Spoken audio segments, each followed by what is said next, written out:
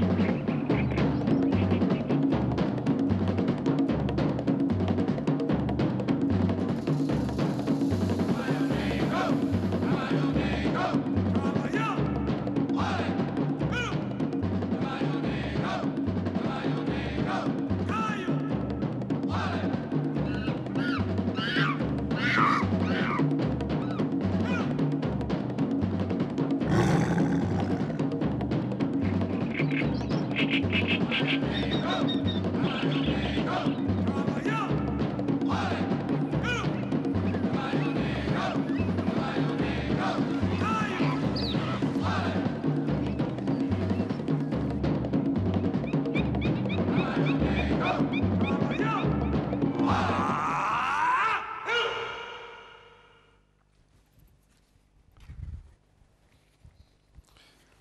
Αργήσαμε λίγο σήμερα, παρά είναι 10 λεπτά, αλλά δεν πειράζει. Όποιος έχει κουράγιο και ψυχίας, κάτσε να παρακολουθήσει.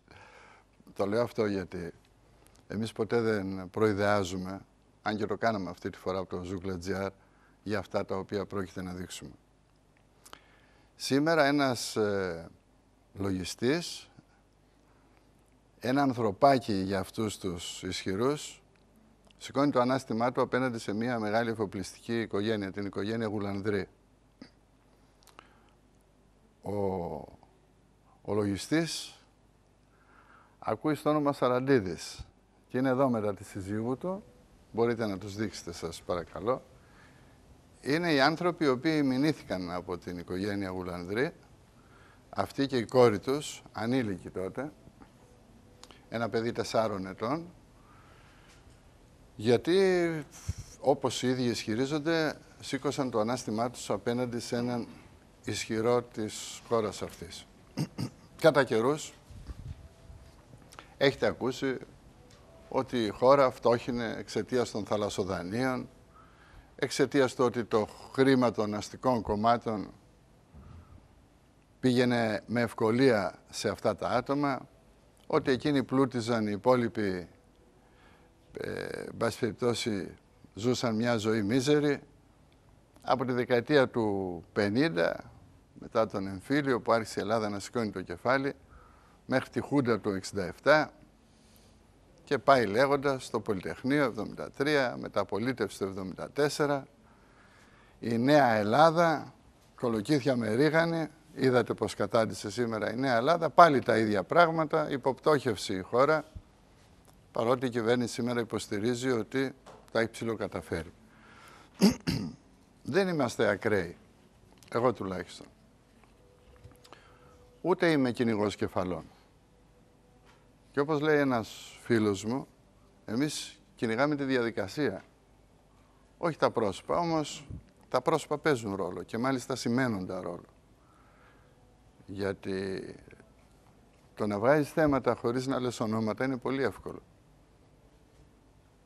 Με το ζόρι κρατιέμαι να μην σου πω τους πέντε υπουργούς που τους πήγε ένα άλλο ανθρωπάκι που φύλαγε τσίλιες εκεί πέρα και οδηγούσε τα αυτοκίνητα των ισχυρών κατασκευαστών που κουβαλούσε τις βαλίτσες με τα 400, 500, 600 και τα εκατομμύρια στους υπουργούς οι οποίοι είχαν την ευθύνη των έργων της Ολυμπιάδας. Δεν το λέω δεν αναφέρομαι στα ονόματα γιατί τους φοβάμαι. Όχι. Τι να φοβηθεί. Ο βρεγμένος από τη βροχή δεν φοβάται. Έχουμε πάνω από 500 μηνύσεις. Και δικαστήρια μέτρητα. Αλλά για τη σεβόμενος στη δικαιοσύνη, περιμένω να δω πού θα καταλήξει αυτός ο φάκελος ο οποίος βρίσκεται στα χέρια της κυρίας Ράικου. Τα πέντε ονόματα είναι από τα πιο ισχυρά που πέρασαν από τούτη εδώ τη χώρα. Και όλοι αυτοί οι αποδέχτες μαύρου χρήματος από τους κατασκευαστές για τα έργα της Ολυμπιάδας. Σήμερα ένας άλλος συνάνθρωπος, συνέλληνας, ο κύριος Γιώργος Σαραντίδης, μαζί με τη γυναίκα του Αγγελική Σαραντίδου, επιτίθεται με τη σειρά τους στον εφοπλιστή στην οικογένεια Γουλανδρή.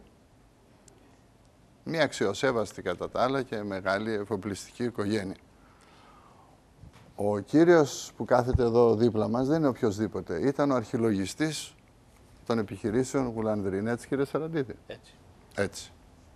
Επομένως, δεν είναι ένας άνθρωπος που φέρνει μία πληροφορία γιατί την άκουσε από τρίτους.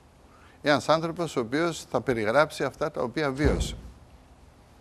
Και σήμερα θα παρελάσουν τα ονόματα των πρωταγωνιστών αυτού του δράματος που δεν είναι άλλοι από τους υπεύθυνους υπουργούς, υφυπουργούς, γενικούς γραμματείς, υπεύθυνους τους ΔΟΕ και όλους εκείνους οι οποίοι υποτίθεται ότι έπρεπε να στηρίξουν το δημόσιο χρήμα και τα δικαιώματα του Έλληνα πολίτη που τους ψήφιζε. Εγώ δεν ε, θεωρώ θέσφατο αυτό που θα πει ο κύριος Σαραντίδης. Εσείς θα αποφασίσετε βάσει των εγγράφων που θα σας δείξει, των λογιστικών εγγράφων τα οποία έχει στη διάθεσή του, των βιβλίων, των συναντήσεων, των επαφών, των καταγγελιών του και όλων των άλλων. Αλλά εδώ ο άνθρωπος έφερε πράγματα τα οποία εν πάση περιπτώσει, δεν είναι συνηθισμένα. Δηλαδή, εσείς θα μπορούσατε να φανταστείτε, γιατί δεν, ε, δεν, δεν θα, θα είναι μια οδύσσια αυτή η σειρά των εκπομπών που θα ακολουθήσουν, εάν δεν συμβεί τίποτα περίεργο. Και περίεργο είναι συνήθως το κατέβασμα του πομπού που εκπέμπει το πρόγραμμά μας. Έχει συμβεί στο παρελθόν, γι' αυτό δεν το λέω έτσι, για να δημιουργήσω εντυπώσεις. Όπως γνωρίζετε, έχω πρωταγωνιστήσει και σε τέτοια ταινία. Να αρχίσει η εκπομπή και στο 1 τρίτον της εκπομπής να κατέβουν οι διακόπτες στον, στον Α. Ο κύριος αυτός δεν λέει φαντασιώσεις, δεν θα περιγράψει φαντασιώσεις, διότι αν περιγράψει τις φαντασιώσεις του, που έχει αλίμονο. Υποτίθεται ότι έχει ατράνταχτα στοιχεία για το όργιο παρανομιών αθλειοτήτων, φοροδιαφυγής, συγκάλυψης και βεβαίως με τη συμμετοχή όχι μόνο των Υπουργών Υφυπουργών Γενικών Γραμματέων, αλλά δυστυχώς και της δικαιοσύνης. Α κάτσουν λοιπόν οι υπεύθυνοι της δικαιοσύνης, ο κύριος Πρόεδρος και ο κύριος Αγγελέας του Αρίου Πάγου, που δεν είχαν έτσι τα αντανακλαστικά μέχρι σήμερα μετά από όσα έχει πει ο κύριος Σαραντίδης να μας καλέσουν για να μας πούν ποιοι είναι αυτοί οι εφοπλιστές και οι επιχειρηματίες οι δύο στους οποίους αναφέρθηκε ο κύριος αυτός και σύμφωνα με τα λεγόμενά του έχουν μία φοροδιαφυγή ύψους 700 εκατομμυρίων ευρώ. Ε, λοιπόν, σας λέω ότι τα 700 εκατομμύρια ευρώ είναι τα λίγα. Γιατί τα πολλά είναι πολύ περισσότερο. Μπορείτε να φανταστείτε επιχειρηματία που έχει μία επιχείρηση της τάξης των 360-400 εκατομμυρίων ευρώ να παίρνει δάνεια ύψους ενός δισεκατομμυρίου 700 και βάλε όταν η εταιρεία του είναι χρεοκοπημένη ή χρεωμένη μέχρι τα μπούνια μπορείτε να φανταστείτε υπόθεση αυτού του επιχειρηματία να πηγαίνει 32 φορές στον Άριο Πάγο και να γυρνάει πίσω και να έχει 32 αναιρέσεις από το 1980 μέχρι σήμερα. Αυτό ήταν το αστικό καθεστώς που κυβερνούσε την Ελλάδα από το 78 γιατί τότε άρχισαν οι περιπέτειες και οι παραγγελίες το 81 με το Πασόκ μετά πάλι με τη Νέα Δημοκρατία, με το Πασόκ, Νέα Δημοκρατία, Πασόκ και η υπόθεση είχε 32 αναιρέσεις στον Άριο Πάγο, αγαπητέ κύριε Σαραντίδη. Ε; Έτσι. Για διαφυγόντα κέρδη και δικαιώματα του δημοσίου, με πετρέλαια. Για φανταστείτε μια υπόθεση που πηγαίνει και έρχεται 32 φορές βρε αθεόφοβη στον Άριο Πάγο από το 1980. Ποια υπόθεση δεν θα είχε δικαστεί; Για πείτε μου βρείτε μου μία υπόθεση που θα μπορούσε να αντέξει τόσα χρόνια. Με κοιτάει περίεργα ο, ο Επαμινδόνας Στυλόπουλος, γιατί είναι και δικηγόρος. Ε; Με κοιτάει περίεργα ο κύριος Κρανιδιώτης που είναι και δικηγόρος. Ε, έτσι Μπροστά στα ονόματα αυτά, όπως σας είπα, οι πολιτικοί κατουργούνται πάνω τους και δει οι ηγέτες, αυτοί που υπήρχαν τρέμουν. Και ξέρετε γιατί. Γιατί πρωτίστως είναι οι σπόνσορες των μεγάλων κομμάτων. Είναι αυτοί οι οποίοι τους συντηρούν. Και γι' αυτό είναι και αυτοί που τους ελέγχουν. Εάν εγώ, ας πούμε, έπαιρνα μία επιταγή από μία έτσι, υπέροχη κυρία των 272.000 τότε που μου έδωσε ευρώ για τα τρέχοντα έξοδά μου, δεν θα ήμουν όμοιρος αυτής της κυρίας σήμερα. Τι θα έβγαινα να πω ότι καταγγέλω τα λαμόγια που ταρπάζουν από εδώ και από εκεί. Θα σήκωνε την επιταγή και θα με τελείωνε μέσα σε 10 λεπτά. Όταν λοιπόν έχεις πάρει χρήματα από τον επιχειρηματικό κόσμο, δεν μπορείς ούτε να κελαϊδάς την τηλεόραση, ούτε να τραγουδάς στη Βουλή. Δεν γίνεται. Θα τραγουδάς στη Βουλή και θα κελαϊδάς την τηλεόραση, θα λες συγκεκριμένα τραγούδια, συγκεκριμένα άσματα. Αν σου πούν δηλαδή ρίξτε το ξαφνικά στο καλαματιανό, λες δεν μπορώ γιατί με πονάει το γόνατο.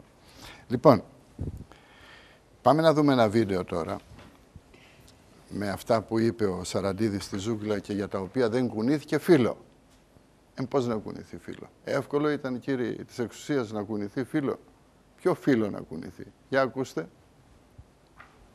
Ο κύριος Σαραντίδης ήρθε στο γραφείο μου πριν από 11 χρόνια φέρνοντας τον έλεγχο των ορκωτών λογιστών για ένα εκ των μεγαλύτερων επιχειρηματιών της χώρας.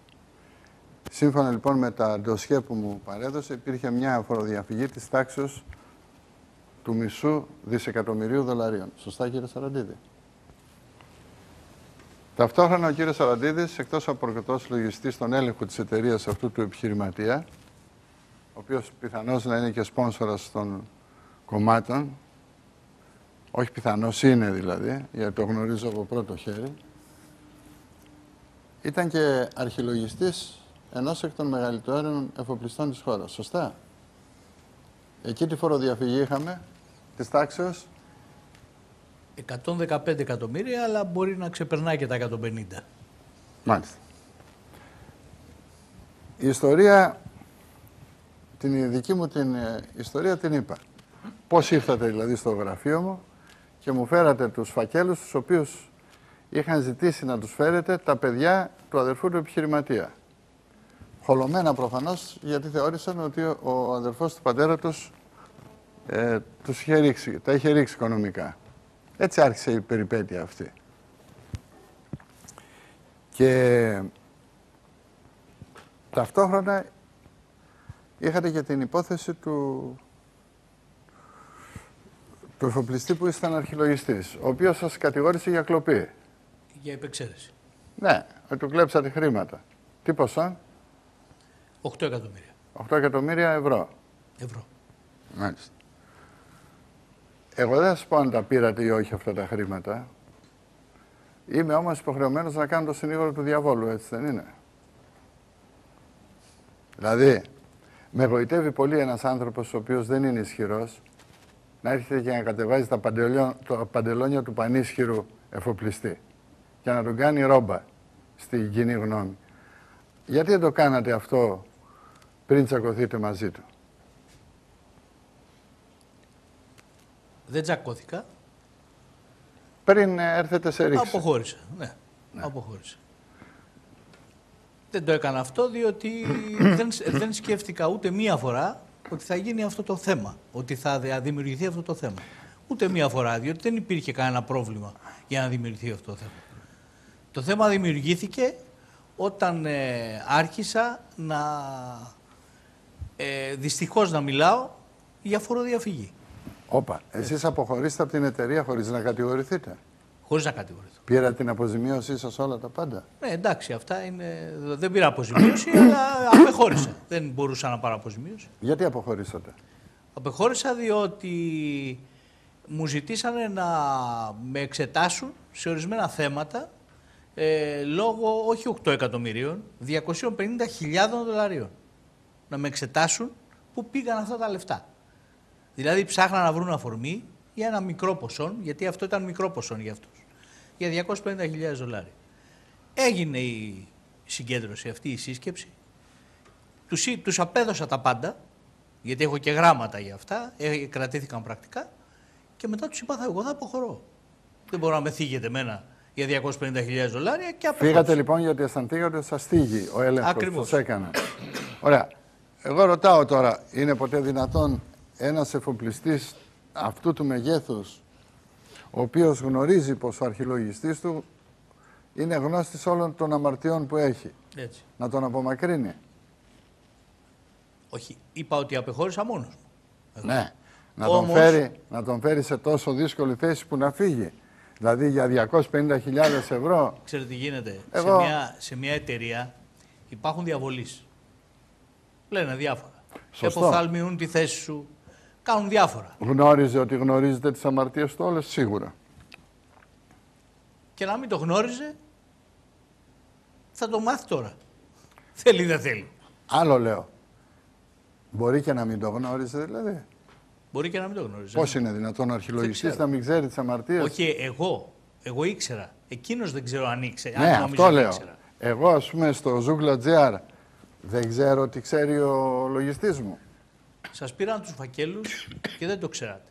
Πώς έγινε; Αυτό είναι άλλη υπόθεση. Εδώ είναι η υπόθεση όμως της δικής μου δουλειάς, της εργασίας μου. Εγώ το αφήνω αυτό στο να πλανάτε. Ε, προσωπικά πρέπει να γνώριζαν ότι εγώ ήξερα τα πάντα. Αυτό είναι δεδομένο. Σωστά. Προσωπικά έτσι πιστεύω. Αφού φύγατε λοιπόν, Όταν έφυγα λοιπόν, ε, μου κάναν μήνυση μετά από 8-9 μήνες. Μήνυση. Η πρώτη μήνυση. Μετά από 1,5 χρόνο, κάνουν, ε, μετά από 6 μήνες, δεύτερη μήνυση. Και μετά από 1,5 χρόνο, άλλες δύο μήνυσεις. Πηγαίναν σιγά σιγά. Πιστεύετε ότι το κάνουν για να σας καταστήσουν άκυρο, αναξιόπιστο; Έτσι. Εγώ πιστεύω απόλυτα αυτό. Μάλιστα. Απεδείχθη ότι εσείς πήρατε κάποια χρήματα; Όχι βέβαια, διότι δεν υπήρχαν αποδείξεις τίποτα. Μάλιστα. Κύριε Σαρατίδη, να ρωτήσω κάτι. Επειδή έχουμε κοινούς φίλους με την οικογένεια αυτή, με πήρε ένα σήμερα και μου λέει βγάζει την υπόθεση του κλέφτη που έκλεψε τα λεφτά του Γουλανδρή και έκανε ξενοδοχεία, βίλες, ιστορίες και τέτοια και έχει γεμίσει λεφτά στις τράπεζες. Ε, του είπα, θα, εγώ δεν παίρνω τη θέση του Σαραντίδη, εγώ παρουσιάζω το θέμα, την υπόθεση Σαραντίδη. Αλλά το αν έχει συμβεί κάτι τέτοιο ή όχι θα το διαπιστώσεις η Δύση όμως σήμερα το βράδυ από την τηλεοπτική οθόνη. Πείτε μου κάτι. Όταν σας μήνυσαν μετά από αρκετό διάστημα, γιατί η περιπέτεια άρχισε όταν εσείς εφήγετε εξαιτίας της, ε, του ελέγχου για τα 250 χιλιάρικα δολάρια για το σκάφος Χριστίνα, ένα κότερο, έτσι δεν είναι. Έγινε έλεγχος, απεδείχθη ότι δεν υπήρχε πρόβλημα, έτσι, είναι σωστό αυτό που λέω; Βεβαίως, απόλυτα. Εφήγετε και αποχωρήσατε. Έτσι. Μετά από 8 μήνες άρχισαν οι μηνύσεις. Βεβαίως. Τους είχατε απειλήσει ότι θα βγάλετε πράγματα πόσο γνωρίζετε; Όχι βέβαια. Όχι, Σε καμία περίπτωση. όχι. Ε, υπήρχαν υπόνοιες ότι μπορεί να μιλήσετε ή γνωρίζατε πράγματα που εκείνοι δεν θα ήθελαν να δουν το φως της δημοσιότητας και ανησύχησαν; Αυτό ναι. Αυτό ναι. Όταν φύγατε, όταν έγινε μάλλον η δέσμευση των περιουσιακών σας στοιχείων, τι περιουσιακά στοιχεία είχατε; Ένα σπίτι που σας επισκεφθήκαμε και το γνωρίζουμε, στην περιοχή της Βουλιαρμένης. ναι. Ε; Ε, είχαμε, πε- είχα περιουσιακά στοιχεία. Όλα βέβαια αδικαιολογημένα, όλα δηλωμένα. Κανένα σε offshore εταιρεία και πρέπει να το πω αυτό. Όλα δηλωμένα στην Ελλάδα. Με κάλυψη όλων των αντικειμενικών αξιών από νόμιμα εισοδήματα, Ναι. δάνεια κτλ. κτλ. και εισοδήματα που είχα βέβαια. Άρα δεν υπήρχε κανένα πρόβλημα. Κοιτάξτε, αν εγώ παρελπίδα ε, πάρω ένα 10 εκατομμύρια μαύρα ή 5,5 όσα πήρε ο φίλος μου ο κομιστής από έναν επιχειρηματία Ναι. Και θελήσω να χτίσω μία βίλα, θα πάρω ένα δάνειο για να δικαιολογώ το δάνειό μου και θα το πληρώνω με αυτά τα χρήματα. Δεν θα μπορούσε να έχει συμβεί κάτι τέτοιο. Ποιο ήταν το ύψος των, περιο- των περιουσιακών σας στοιχείων και των καταθέσεων Ε, ε, όταν δεσμεύτηκαν; Λοιπόν, το ύψος των περιουσιακών μου στοιχείων συνολικά ήταν 145 εκατομμύρια δραχμές. 145 εκατομμύρια Εκατομμύρια δραχμές. δραχμές. Το ίδιο διάστημα που κατηγορούμε, Ακίνητα και χρήματα. ε, ακίνητα. Χρήματα δεν υπήρχαν. Καταθέσεις; Χρήματα ελάχιστα καταθέσεις. Ελάχιστες. Καταθέσεις, τι καταθέσεις υπήρχαν; Οι καταθέσεις ε, δεν περνούσαν ποτέ τα 2-3 εκατομμύρια. Τα 2-3 εκατομμύρια. Τι μισθό παίρνατε στην ε, επιχείρηση Ε, που ο ήταν μισθός ήταν ε, μεγάλος. Δηλαδή; Ήταν μεγάλος. Οι Αυτό- δηλώσεις μου δηλαδή ετησίως ήταν ε, ε, 20-25 εκατομμύρια. Επομένως, μπορούν να δικαιολογήσουν σε διάστημα πόσων ετών, πόσα Ε, σε χρόνια. δια- ε, 10 χρόνια που με κατηγορούν, όχι μόνο δικαιολογούσαν αυτά, αλλά ε, είχα πάρει και περίπου 60-70 εκατομμύρια δάνεια. Μάλιστα. Και είχα, καλύφθει- είχα καλύψει τα πάντα. Από τον έλεγχο που έγινε, βρέθηκαν χρήματα, ποσά ή ακίνητα τα οποία ήταν ε, περίεργα και θα έπρεπε να ερευνηθούν; Όχι βέβαια. Όχι. Όχι βέβαια. Ούτε στη σύζυγό σας, ούτε σε εσάς. Όχι, όχι βέβαια. Ούτε στο παιδί σας, Όχι βέβαια. ούτε στους συγγενείς σας. Μεθοδεύτηκε όμως από, τους κυρίους, ε, από τον κύριο Φοπλιστή, μέσω των δικηγόρων του, ε, τα ακίνητα να δεκαπλασιαστούν Σε αντικειμενική αξία. σε αντικειμενική αξία. Το ένα ακίνητο δηλαδή, το οποίο ήταν 85 τετραγωνικά διαμέρισμα, το έκαναν 160. Και τα, το διαμέρισμα αυτό που είχε αγοραστεί με δάνειο, σας λέω ένα παράδειγμα, 28 εκατομμυρίων, ε, είπαν ότι κάνει 160 εκατομμύρια. Το οποίο δικαστής, εισαγγελέας, εισαγγελέας, στην 8η σελίδα των προτάσεών του το λέει 28 εκατομμύρια, το δέχεται, και στην 30η σελίδα των ίδιων προτάσεων το λέει 160. Μάλιστα. Πριν πάμε εκεί, θέλω να ακούσουμε τι λέει η κόρη σας. Η Χριστίνα Σαραντίδη, τι είπε την, την προηγούμενη Πέμπτη, η οποία οδηγήθηκε στον ανακριτή 14 ετών. Ενώ απαγορεύεται κάτι τέτοιο να συμβεί, όταν άρχισαν να φτάνουν οι μηνύσεις βάρος της και φάκελοι που την καθιστούσαν κατηγορούμενη για ξέπλυμα μαύρου χρήματος και νομιμοποίηση εσόδων από εγκληματική δραστηριότητα σε ηλικία 4 με 10 ετών. 4 με 10 ετών ένα παιδί κατηγορήθηκε για ξέπλυμα μαύρου χρήματος νομιμοποίηση εσόδων από εγκληματική δραστηριότητα, όταν στο όνομά της είχε πόσα χρήματα η Χριστίνα; Είχε 452 σημερινά ευρώ. 400, Αυτά δεσμεύτηκαν. 400, Όχι στο όνομά της, στην, ε, στη σύζυγό μου. Ναι. Και ε, απλά υπήρχε συνδικαιούχος και το παιδί. Ήταν ο κουμπαράς για το παιδί σας. Έτσι. Ε, ποιον είχατε δικηγόρο τότε; Ο δικηγόρος μας τότε που παρουσιάστηκε στον ανακριτή ήταν ο κύριος Μιχάλης Δημητρακόπουλος. Αυτός οδήγησε το παιδί. Αυτός οδήγησε ενώπιον του 12ου τακτικού ανακριτού Αντωνίου Γομάτου. Το οποίο παιδί έκλαιγε μπροστά στον Φυσικά. ανακριτή και οδηγήθηκε παρανόμως σε αυτή την ηλικία. Παρανόμως σε τακτικό ανακριτή. Και όχι σε, δικα... σε ανακριτή ανηλίκων. Είσαστε σίγουρος ότι... Κατηγορούμενοι. Ως κατηγορούμενοι. 14 χρονών. Βεβαίως. Κύριε Κράνη, διότι νομίζω ότι θα πρέπει να αναθεωρήσετε τις ε, φιλελεύθερες έτσι απόψεις σας. Γεράσκο, είναι διδασκόμενος. Έτσι. Θα, θα, θα δείτε πόσα πράγματα θα αναθεωρήσετε σήμερα. Θα ψάξουμε τον νόμο που το λέει, γιατί δεν το ξέρουμε. Όχι, ο νόμος το ξέρουν οι δικηγόροι που είναι παρόντες. Που λέει για 14 χρονών στον ανακριτή. Βεβαίως. Δεν το ξέρω, πρώτη φορά τα ακούμε. Το απαγορεύει ο 389 του 2003. Δεν Σας υπάρχει το λέει ο περίπτωση, Θεός. λένε οι δικηγόροι εδώ. Ε, ε, αν δεν υπάρχει περίπτωση, θα πρέπει να αναζητηθεί και να ερωτηθεί ο κύριος Αντώνιος Γομάτος, ε, το 12ο τακτικός ανακριτής τότε. Μάλιστα. Στον οποίο είχε δηλωθεί η ηλικία του παιδιού. Είχε δηλωθεί. Όχι είχε δηλωθεί μόνον, αλλά είχε πάρει την ταυτότητα του παιδιού, το είδε και το ανέκρινε κανονικά. Και όταν το παιδί κλαίγοντας Επιτρέπετε. Έστ- Έστειλε κλίση δηλαδή. Βεβαίως. έστειλε Κλίση. κλίση, Κλίση κατηγορουμένου. Κλίση να εμφανιστεί κατηγορουμένου. Όχι το- κατηγορουμένη. Γνωρίζοντας την ηλικία. γνωρίζοντας την μάρτυρας. ηλικία. Ως Συγγνώμη, μάρτυρας, ως μάρτυρας, Σαν ως κατηγορούμενη. κατηγορούμενη. Ως Απολογήθηκε κατηγορούμενη. κανονικά. Αυτό έγινε το 2004, το 2004 έγινε ε, στις 5 και 12 γιατί την ξανακάλεσε, ε, παρακαλέσαμε, επειδή δίνει εξετάσεις, έδινε εξετάσεις, στο γυμνάσιο έδινε εξετάσεις, παρακαλέσαμε να μην πάει τη δεύτερη φορά να απολογηθεί. Και δεν επέτρεψε να μην απολογηθεί. Μάλιστα. Την ξανακάλεσε 12. Κύριε Σαραντίδη, θα παρακαλέσω. Αυτά είναι τα ψηλά. Γιατί Δεν, όταν... ψηλά. δεν είναι και τόσο ψηλά. Ε, λοιπόν, σας διαβεβαιώ Είναι ψηλά. ότι αυτά είναι τα ψηλά. Τώρα, μόλις μπούμε στα χοντρά, δεν θα σταυροκοπιέστε απλά, αλλά θα περπατάτε πάνω στα τραπέζια. Περιμένετε να δείτε για να καταλάβετε ότι τίποτε δεν είναι τυχαίο σε αυτή τη χώρα. Πάμε να ακούσουμε και και την ε, Χριστίνα Σαραντίδη, η οποία δεν φαίνεται να συγκίνησε τις αρχές. Ούτε τη δικαιοσύνη με αυτά που είπε προχθές. Η Χριστίνα Σαραντίδη είναι η κόρη του κυρίου Σαραντίδη. Οι λογαριασμοί της άνοιξαν σε ηλικία 4 ετών και η ίδια οδηγήθηκε στον ανακριτή σε ηλικία 14 ετών. Τι λογαριασμούς είχε το παιδί 4 ετών; Ένα μπιμπερό θα Α, είχε. δηλαδή τι. Ναι, θα είχε το, αυτό το γαλατάκι του Ναι, τι, αυτό και, και δικαστές που δεν ξέραν τι κάνουν. Αυτό λέω Χριστίνα. κύριε Διαλυνά. Τι λογαριασμού. Να ακούσουμε τη Χριστίνα. Ναι. Βεβαίως.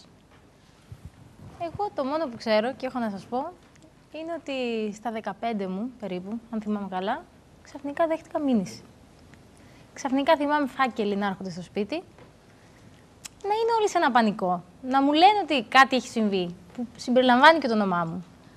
Αλλά πραγματικά θέλετε αθωότητα, θέλετε ότι πραγματικά δεν μπορούσα να πιστέψω αυτό που μου λέγανε.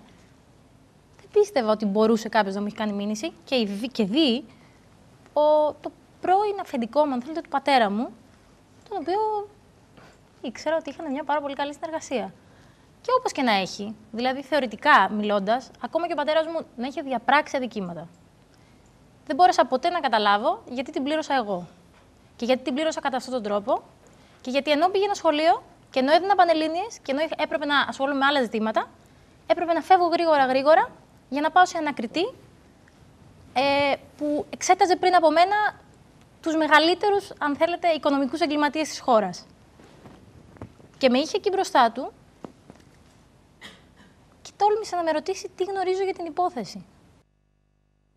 Μάλιστα. Θα πάμε σε ένα πολύ μικρό διάλειμμα και θα επιστρέψουμε κοντά σας. Έχω μια ευαισθησία στα, στα θέματα που άπτονται της δικαιοσύνης και θα ήθελα έτσι όσοι δικαστές παρακολουθούν σήμερα την εκπομπή να δουν τι σημαίνει πλαστογραφία εγγράφου από το δικό τους προσωπικό. Σε λίγο θα είμαστε πάλι μαζί.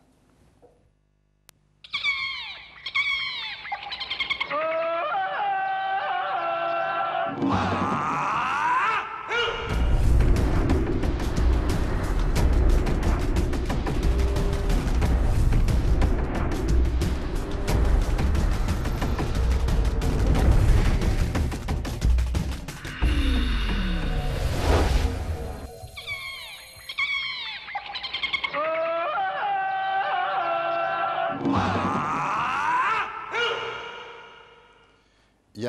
να μην μένει τίποτα μετέωρο, θα πρέπει να εξηγήσουμε σε αυτή την περίπτωση, που αναφερθήκαμε ήδη, δηλαδή στην περίπτωση της κόρης του κύριου Σαραλίδη της Χριστίνας, ότι κατηγορήθηκε σε ηλικία 4 έως 10 ετών, ότι ε, η, η δίωξη άρχισε όταν ήταν 14 Έτσι. και τελικά από ό,τι βλέπουμε και τους υπολογισμούς που 16. κάναμε, πρέπει στα 16 της να πέρασε από τον από τον ανακριτή. ανακριτή. Από τον τακτικό ανακριτή. Από κανονικό ανακριτή, όχι ανηλίκων. Όχι ανηλίκη. Ε, αυτό απαγορεύεται από τον νόμο. Δεν θα Προφανώς. μπορούσε. Δεν είναι σύνομο, έτσι δεν είναι. Από ό,τι... Σε ανηλίκη. Σωστά. Δεν πήγε όμως.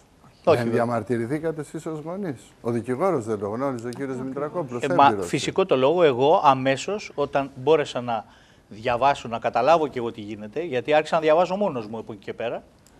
Ε, φυσικά τον εγκατέλειψα τον κύριο Δημητρακόπουλο. Σηκώθηκα και έφυγα. Μόνο για τη Χριστίνα σηκώθηκα και έφυγα. Μάλιστα.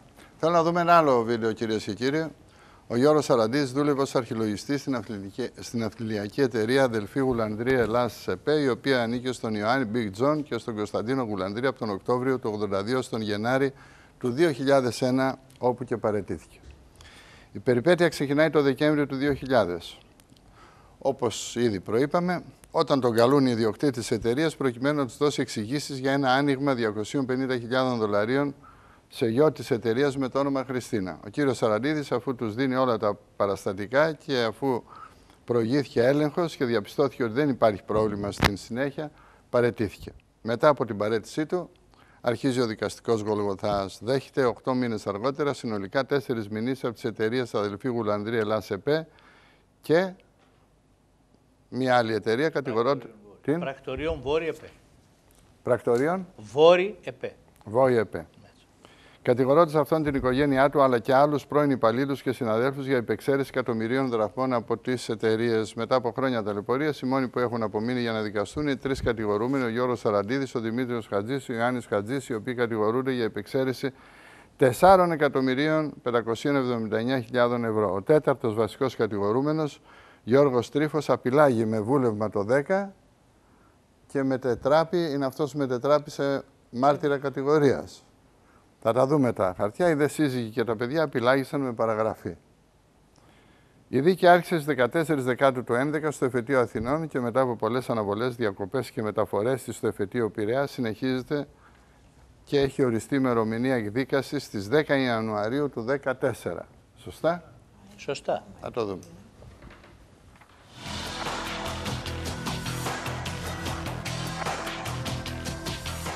Μια απίστευτη περιπέτεια δίχως τέλος παρουσιάζει απόψε η εκπομπή.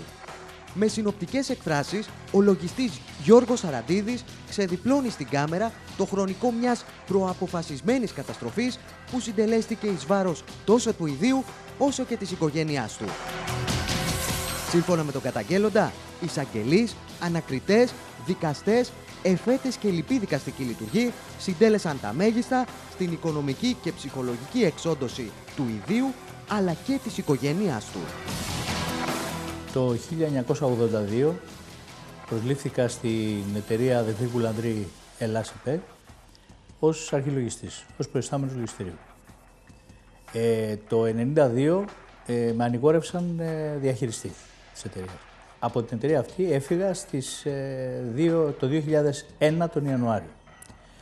Ε, παράλληλα με αυτή την εταιρεία υπήρχε και η εταιρεία πρακτορείων Βόρεια ΕΠΕ, η οποία ανήκει, ε, είναι, ανήκει σε δύο offshore εταιρείες, την Crest Maritime και την Vergina, στις οποίες και εκεί ήμουν ε, διαχειριστής.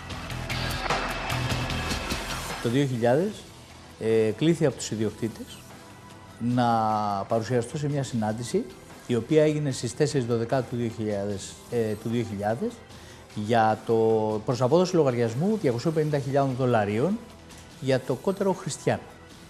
Στη συνάντηση αυτή ήταν παρόντες ε, ο Γιώργος Γουλανδρής, ο Νικόλαος Γουλανδρής, ο Λεωνάρδος Γουλανδρής, ο, ο διευθυντής του γραφείου της Λοζάνης, που είναι ελέγχουσα εταιρεία των γραφείων του Πειραιά, κύριος Μπουχάγκερ, ε, και υπάλληλοι του γραφείου, εκτός από μένα και οι άλλοι λογιστές. Επίσης ήταν ο Γενικός Διευθυντής και τέρος Απόστολος Φραντζής, ο οποίος κρατούσε ο ίδιος, ιδιοχείρος και πρακτικά. Κατά αυτή τη συνάντηση ερωτήθη για ορισμένα κονδύλια που αμφισβητούσαν, αμφισβητήθηκαν για, τον, ε, για το κότερο αυτό, απήντησα σε όλα και εξ- εξ αυτού γεγονότος, μετά από ένα μήνα, εδέχθη γράμμα από τον διευθυντή της Λοζάνης, αφού έλεγξε όλους τους λογαριασμούς που είχα αποστείλει και είπε ότι όλο, όλο, ε, οι λογαριασμοί ήταν όλοι εντάξει. Δηλαδή ευρέθησαν όλα τα παραστατικά και οι λογαριασμοί ήταν εντάξει. Εγώ όμως ήδη είχα πει στη συνάντηση, μόλις κλείναμε, ότι στις 30 Ιανουαρίου θα αποχωρήσω λόγω ότι με έθιξαν, ε, επειδή μου έθιξαν την υπόλοιψή μου, διότι ε, εθεώρησαν ότι εγώ υπέκρυπτα ή έκανα λάθος σε πράγματα τα οποία δεν επιτρεπόταν για μένα να γίνει αυτό. Στις 29 Αυγούστου του 2001 δέχτηκε μια μήνυση από την εταιρεία Γουλανδρή που αφορούσε το, έ- τα έτη 99-2001, Ιανουάριο του 2001, ε, της τάξης των 720 εκατομμυρίων δράχμων για υπεξαίρεση μαζί με ε, άλλον και άλλον συνδιαχειριστή μου και ε, συνέργεια στην υπεξαίρεση δύο άλλων λογιστών της εταιρείας. Μετά από 6 μήνες περίπου εδέχθη άλλη μήνυση από την εταιρεία Βόρεια αυτή τη φορά, 99-2000, της τάξης των 549 εκατομμυρίων, ε, η οποία μήνυση αυτή ουδέποτε ισχύει ποινική δίωξη εναντίον μας. Μετά από περίπου ένα χρόνο, στις 18 Ιανουαρίου του 2002, και οι δύο εταιρείες υποβάλλουν δύο μηνύσεις. Η μία με, για το διάστημα 92-99 για 900 εκατομμύρια, η δε άλλη για το 97-98 διάστημα για 300 εκατομμύρια. Ε, στις δύο μηνύσεις αυτές, εκτός από εμάς τους τέσσερις λογιστάς, περιέχονται και οι οικογένειές μας όλες, οι τέσσερις δηλαδή σύζυγοι και επτά ανήλικα παιδιά, εκ των οποίων το ένα για την ηλικία κατηγορήθηκε 4 έως 10 ετών. Όλα τα παιδιά όταν κατηγορήθηκαν το 92 ήταν ανήλικα. Το ένα δε ήταν το 92 4 ετών, ως γεννηθήσα το 1987. Μετά από αυτές τις μηνύσεις εδόθησαν όλες, γιατί και οι πρώτοι και οι επόμενες πήγαν στο πρώτο 12ο ανακριτή, κύριο Δημήτριο Τράγκα. Ακολούθησαν άλλοι τέσσερις μετά, μέχρι σήμερα. Τελικά, μετά από τις ανακρίσεις, τα βουλεύματα και τους πέντε ανακριτάς, ε, σήμερα φτάσαμε να είμαστε τρεις οι κατηγορούμενοι, διότι οι σύζυγοι και τα παιδιά έχουν απαλλαγή με παραγραφή. Ο δε ε, τέταρτος συγκατηγορούμενος μας, Γιώργος Τρίφος, απειλάγει ε, χωρίς κατηγορία, λόγω συμφωνίας με τον ιδιοκτήτη και τους ε, δικηγόρους της εταιρείας. Ε, κα- τον κατασκεύασαν ψευδομάρτυρα και τον απείλαξαν.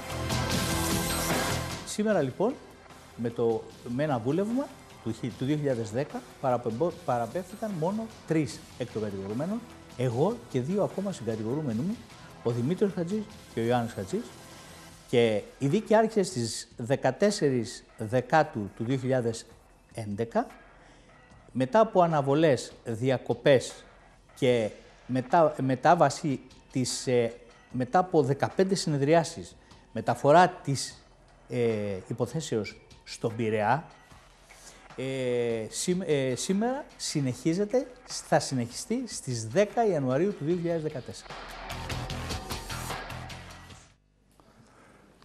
Όταν ο κύριος Σαρα... Σαραντίδης μου, μου έδωσε τα έγγραφα της δέσμευσης, θέλω λίγο να παρακολουθήσετε αυτό το σημείο, είναι πολύ λεπτό, αλλά έχει εξαιρετικό ενδιαφέρον, των περιουσιακών στοιχείων του ιδίου, της συζύγου μάλλον και της κόρης του, ε, βάσει του νόμου έπρεπε να δεσμευτούν τα χρήματά τους, γιατί αναδρομικά δεν έχουν ισχύ οι νόμοι, από το 96 και μετά.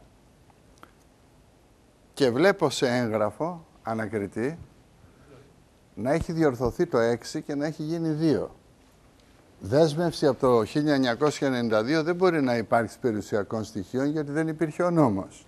Πότε έγινε ο νόμος κύριε Σαραντίδη, 24 Οκτώου του 1995. τι νόμος ήταν αυτός, Είναι ο 2331, ο πρώτος νόμος νομοποίησης εισόδων από εγκληματική δραστηριότητα. Μπορεί λοιπόν ε, κύριε Κρανιδιώτη ένας νόμος που ισχύει από το 96 να ισχύσει αναδρομικά και να διορθωθεί πάνω στο έγγραφο και να γίνει το 96-92. Όχι, έτσι μου το Όχι. λέτε, Φέρτε το αλλά έγγραφο. Κάνουμε υποθέσεις. Το έχουν... Μ, Πάρτε το. Φέρτε το έγγραφο. Ναι, ναι, βέβαια. Τώρα θα δείτε, έγινε ολόκληρη ανάκριση. Έγινε ανάκριση για τη γραμματέα, έχει- έγινε ανάκριση, έγινε δίκη για το δικαστή, για τον ανακριτή. Αθωώθηκαν όλοι και καταδικάστηκε η γυναίκα και έφαγε 7 χρόνια γιατί κατηγορούσε, λέει, τους δικαστές. 7 χρόνια φυλακή, αθεόφοβοι. Βάλατε γι' αυτό εδώ, για αυτή την αθλειότητα. Δείτε εδώ, εδώ πέρα είναι. Το 96 έγινε 92. Πώς μπορεί να έχει εν- ισχύει ένας νόμος το 92 όταν έχει ψηφιστεί το 96 και ποιος ανακριτής μπορεί να βάλει το, το μολύβι του και να διορθώσει για να δεσμευτούν τα περιουσιακά στοιχεία των ανθρώπων και δει ενός παιδιού το οποίο είναι ανήλικο και το οποίο μέχρι σήμερα φέρνει αυτή την τροπή επάνω του διότι Οι ακόμα διατάξεις και του- αργότερα που αναγκάστηκαν να το διορθώσουν δεν ειδοποίησαν τις υπηρεσίες. Και έριξαν 7 χρόνια στη γυναίκα αυτή φυλακή για συκοφαντία. Αλλά δεν έγιναν έτσι απλά τα πράγματα. Δικηγόροι την κοπάνησαν την τελευταία στιγμή. Τώρα θα δείτε τι έγινε μεγάλο πανηγύρι. Ένας αγγελέος κύριος Σακάς που μου έρχεται εδώ πέρα συνεχώς στις εκπομπές σήμερα λάκηξε, δεν τον είδα εδώ πέρα. Για πείτε μου από το κοντρόλ τον καλέσατε; Τον, τον καλέσατε, γιατί σας είπε. Έχει μια υποχρέωση. Εγώ να δείτε υποχρέωση που θα σας έχω από σήμερα, κύριε Εισαγγελέα, που ερχόσασταν εδώ πέρα και ήσταν κατά τα άλλα λαλίστατος για όλα όσα συνέβαιναν. Και λέει λοιπόν εδώ η απόφαση αυτή. Ότι ονομάζομαι Αγγελική Σαραντίδου, σύζυγος Γεωργίου και βρίσκομαι ενώπιον σας για να καταγγείλω παράνομες πράξεις οι οποίες έβλαψαν επανόρθωτα τιμή υπόλοιψη και τα λοιπά των τεσσάρων παιδιών μου επιστημόνων, των τριών πρώτων και υποψηφίας των Πανελληνίων Εξετάσεων Ανηλίκου κόρης μου, Χριστίνας. Ο σύζυγός μου Γεώργιος Χ. το επάγγελμα ορφοροτεχνικού για 32 χρόνια και το 2001 κατηγορήθηκε με ψευδέστα και αναπόδεικτα στοιχεία και απίστευτους ψευδομάρτυρες από τον Όμιλο Γουλανδρή για υπεξαίρεση και νομιμοποίηση εσόδων βάσει του νόμου τάδε τάδε και τα υπόλοιπα. Συγχρόνως κατηγορήθηκαν και άλλοι τρεις συνάδελφοι του σύγχρουμ και τα, εδώ λέει το story. Στις 28 Τρίτου 2003, ο 12ος τακτικός ανακριτής κ. Τράγκας εκδίδει τις παρήθμη τάδε 277, 278, 79, 80 και 281 του 3 διατάξεις εναντίον εμού και των τεσσάρων παιδιών μου με δέσμευση των λογαριασμών και των ακινήτων μας από 1η Πρώτου 92 και μετά ήτη κατά την περίοδο τελέστων υποτιθεμένων αδικημάτων όλα τα παιδιά ήταν ανήλικα. Η δεκόρη μου Χριστίνα γεννηθήσα το 87 ήταν νήπιο, ενώ ακόμα και τώρα εξακολουθεί να είναι ανήλικη. Επειδή δεν μπορώ να πιστέψω ότι ένας δικαστής αγνοεί την απαρχή του ποινικού νόμου 2331 του 95, διότι ήδη ο ίδιος δικαστής τον εφάρμοσε από το 96 στη διάταξη 473 του 2 για το σύζυγό μου, επειδή στις διατάξεις 277-281 του 3 έχει παραποιηθεί εντέχνος ημερομηνία εφαρμογής του νόμου 2331-95, αντί 1η Πρώτου 96 σε 1η Πρώτου του 92. Επειδή αυτά τα έγγραφα έχουν αποσταλεί σε όλα τα χρηματοπιστωτικά ιδρύματα της χώρας και σε όλα τα υποθηκοφυλάκια αυτής με αποτέλεσμα το διασυρμό ολόκληρης οικογένειάς μου.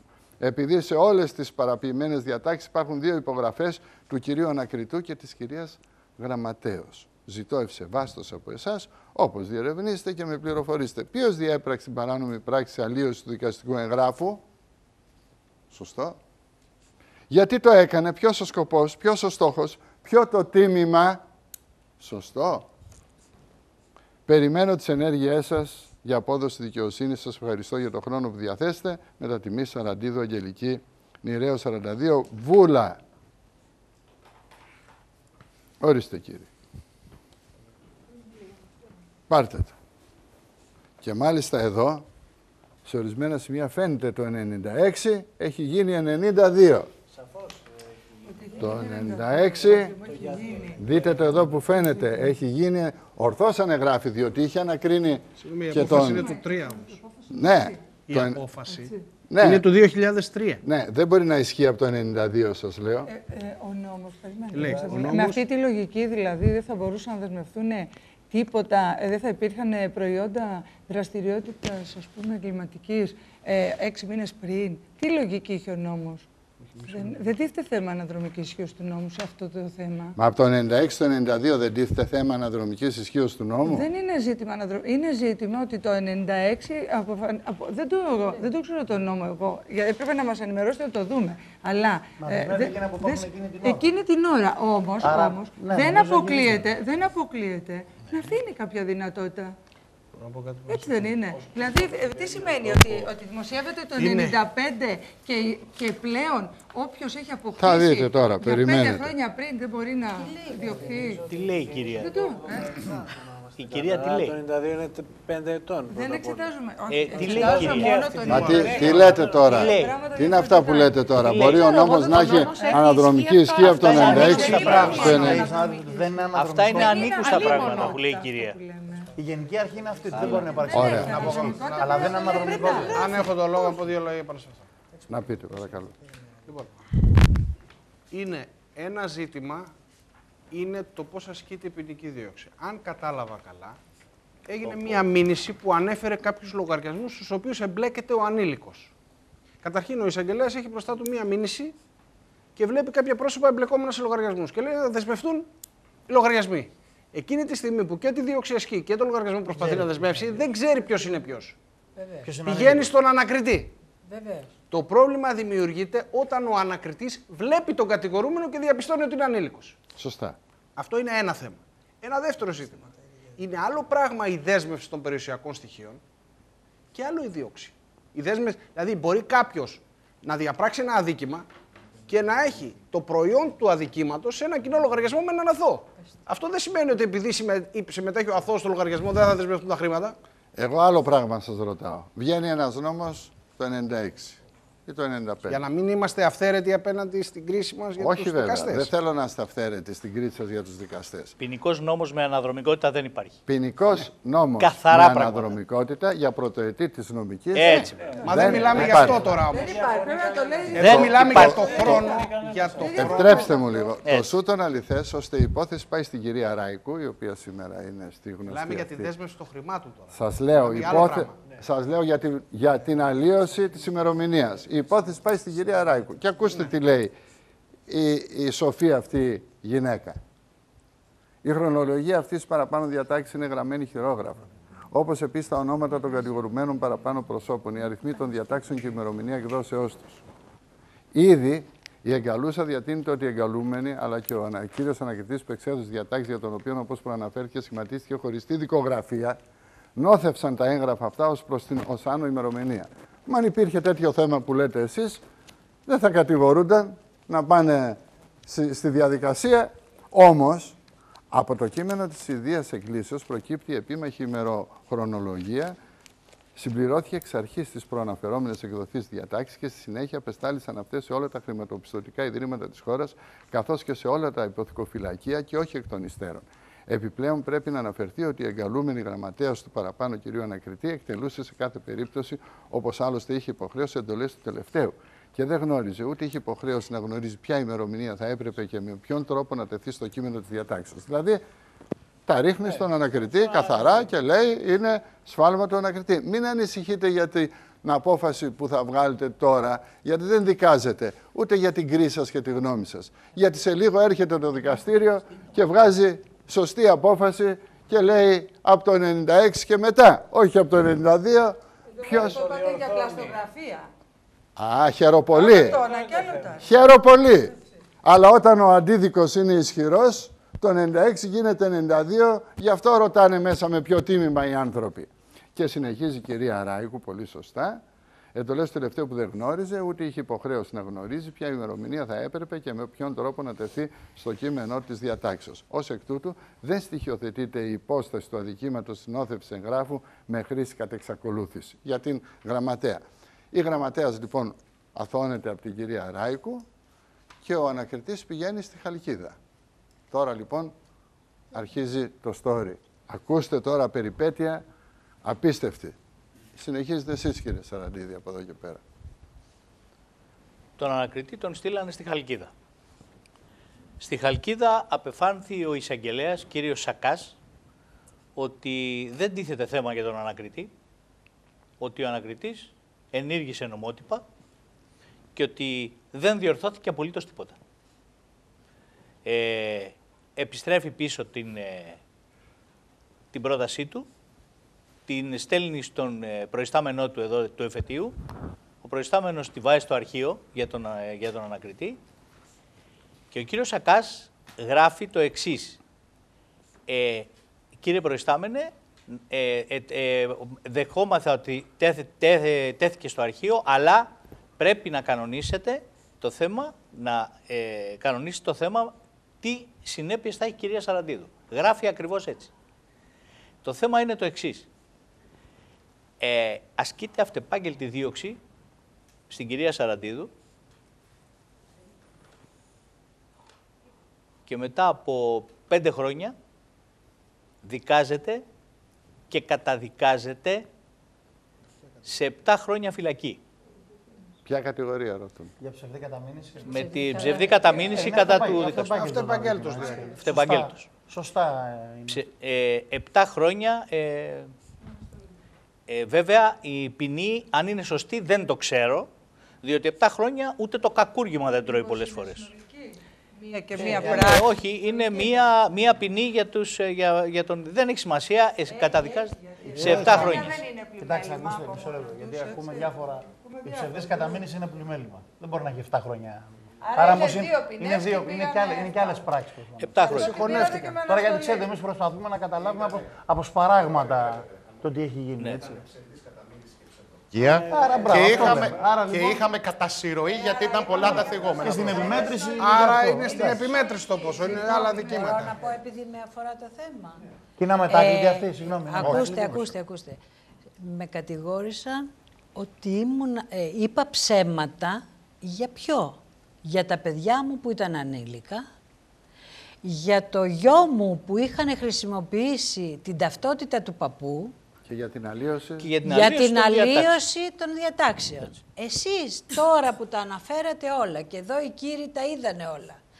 Έχω πει κάτι ψέματα; Όχι, δεν τα είδαμε όλα. Δεν τα είδαμε καταρχήν. Τη διόρθωση την Ούτε να είδατε. εκφράσουν υπόθεση. Τη διο- Και σας λέω, είναι αμετάκλητη. Είναι αμετάκλητη. Δεν είναι αμετάκλητη, όχι.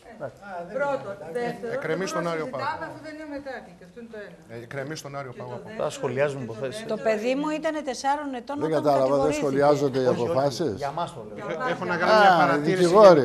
Δικηγόροι. γενική. Εγώ που είμαι ιονή κατηγορούμενος μπορεί να λέω ό,τι μπορούμε θέλω. να Ε. συνεχίσουμε. Ωραία, μπράβο σας. Κρατήστε τις δημόσιες σχέσεις με τις Έχω μια έδρες. παρατήρηση. να κάνω. Μάκη, Λοιπόν, μισό λεπτό, ένα μισό λεπτό. μισό λεπτό. Ένα λεπτό. Η αλλίωση υπάρχει, ρε αδερφέ. Τη βλέπετε. Είναι τεκμαρτό Ένα στοιχείο. λεπτό να ξεκαθαρίσουμε. Υπάρχει αλλίωση. Η αλλίωση υπάρχει, αλλά το ζήτημα. Στην είναι- αλλίωση θέλω να μην αφήσετε όλα τα άλλα. Περιμένετε. Το Δεν ζήτημα θέλω να είναι- δικάσετε τίποτα άλλο. Ένα λεπτάκι. Το ζήτημα είναι από Μα ό,τι δεν περιμένετε να ακούσετε τι έγινε.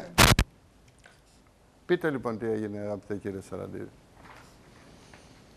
Στη συνέχεια υποβα... ε, κάναμε έφεση. Κάναμε έφεση στη συνέχεια. Και η υπόθεση παραφέρθηκε τελικώς στο, στο εφετείο Ναυπλίου, λόγω εντοπιότητας του δικαστού, επειδή ο δικαστής ήταν εδώ αυτός, στο εφετείο Ναυπλίου. Στο εφετείο Ναυπλίου η- ορίστηκε για 4 Ιουλίου του 2013, δηλαδή το καλοκαίρι φέτο. Ε, ο δικηγόρος που είχαμε, κύριος Βασίλειος Καπερνάρος, ζήτησε να πάρει, να πάρει μια αναβολή επειδή εκείνη την ημέρα είχε πρόβλημα, όπως είπε. Και το δικαστήριο έδωσε αναβολή για την άλλη μέρα. Την άλλη μέρα έδωσε, για πέντε του μηνός. Διέκοψε, διέκοψε. Ναι, διέκοψε γιατί να- έδωσε, έδωσε διακοπή για την άλλη μέρα. Ε, την άλλη μέρα λοιπόν ε, γυρίσαμε πίσω από τον Ναύπλιο στις 4 Ιουλίου και στις 7 η ώρα το βράδυ παίρνω ένα τηλέφωνο και ο κύριος Καπερνάρος μας λέει εμένα και στη σύζυγό μου ότι δεν μπορεί να μας εκπροσωπήσει την άλλη μέρα. Εγώ ήδη είχα πληρώσει λεφτά στον κύριο Καπερνάρο. Ο κύριος Καπερνάρος μου λέει να πάρετε τα χρήματα και να βρείτε δικηγόρο 8 η ώρα το πρωί, θα πάτε στο δικηγορικό σύλλογο Ναυπλίου, θα σας βρει δικηγόρο και εκείνος σας εκπροσωπήσει. Ο κύριος Καπερνάρος δεν σας είπε για ποιο λόγο, δεν μπορεί; Όχι για κανένα λόγο. Είχε κλείσει το γραφείο του και δεν μας δέχτηκε καν. Μιλήσαμε με τον βοηθό του. Ε, στον κύριο Καπερνάρο είμαστε τρία χρόνια. Τα επτά χρόνια τα έφαγε η σύζυγός μου όταν ήταν αυτός δικηγόρος.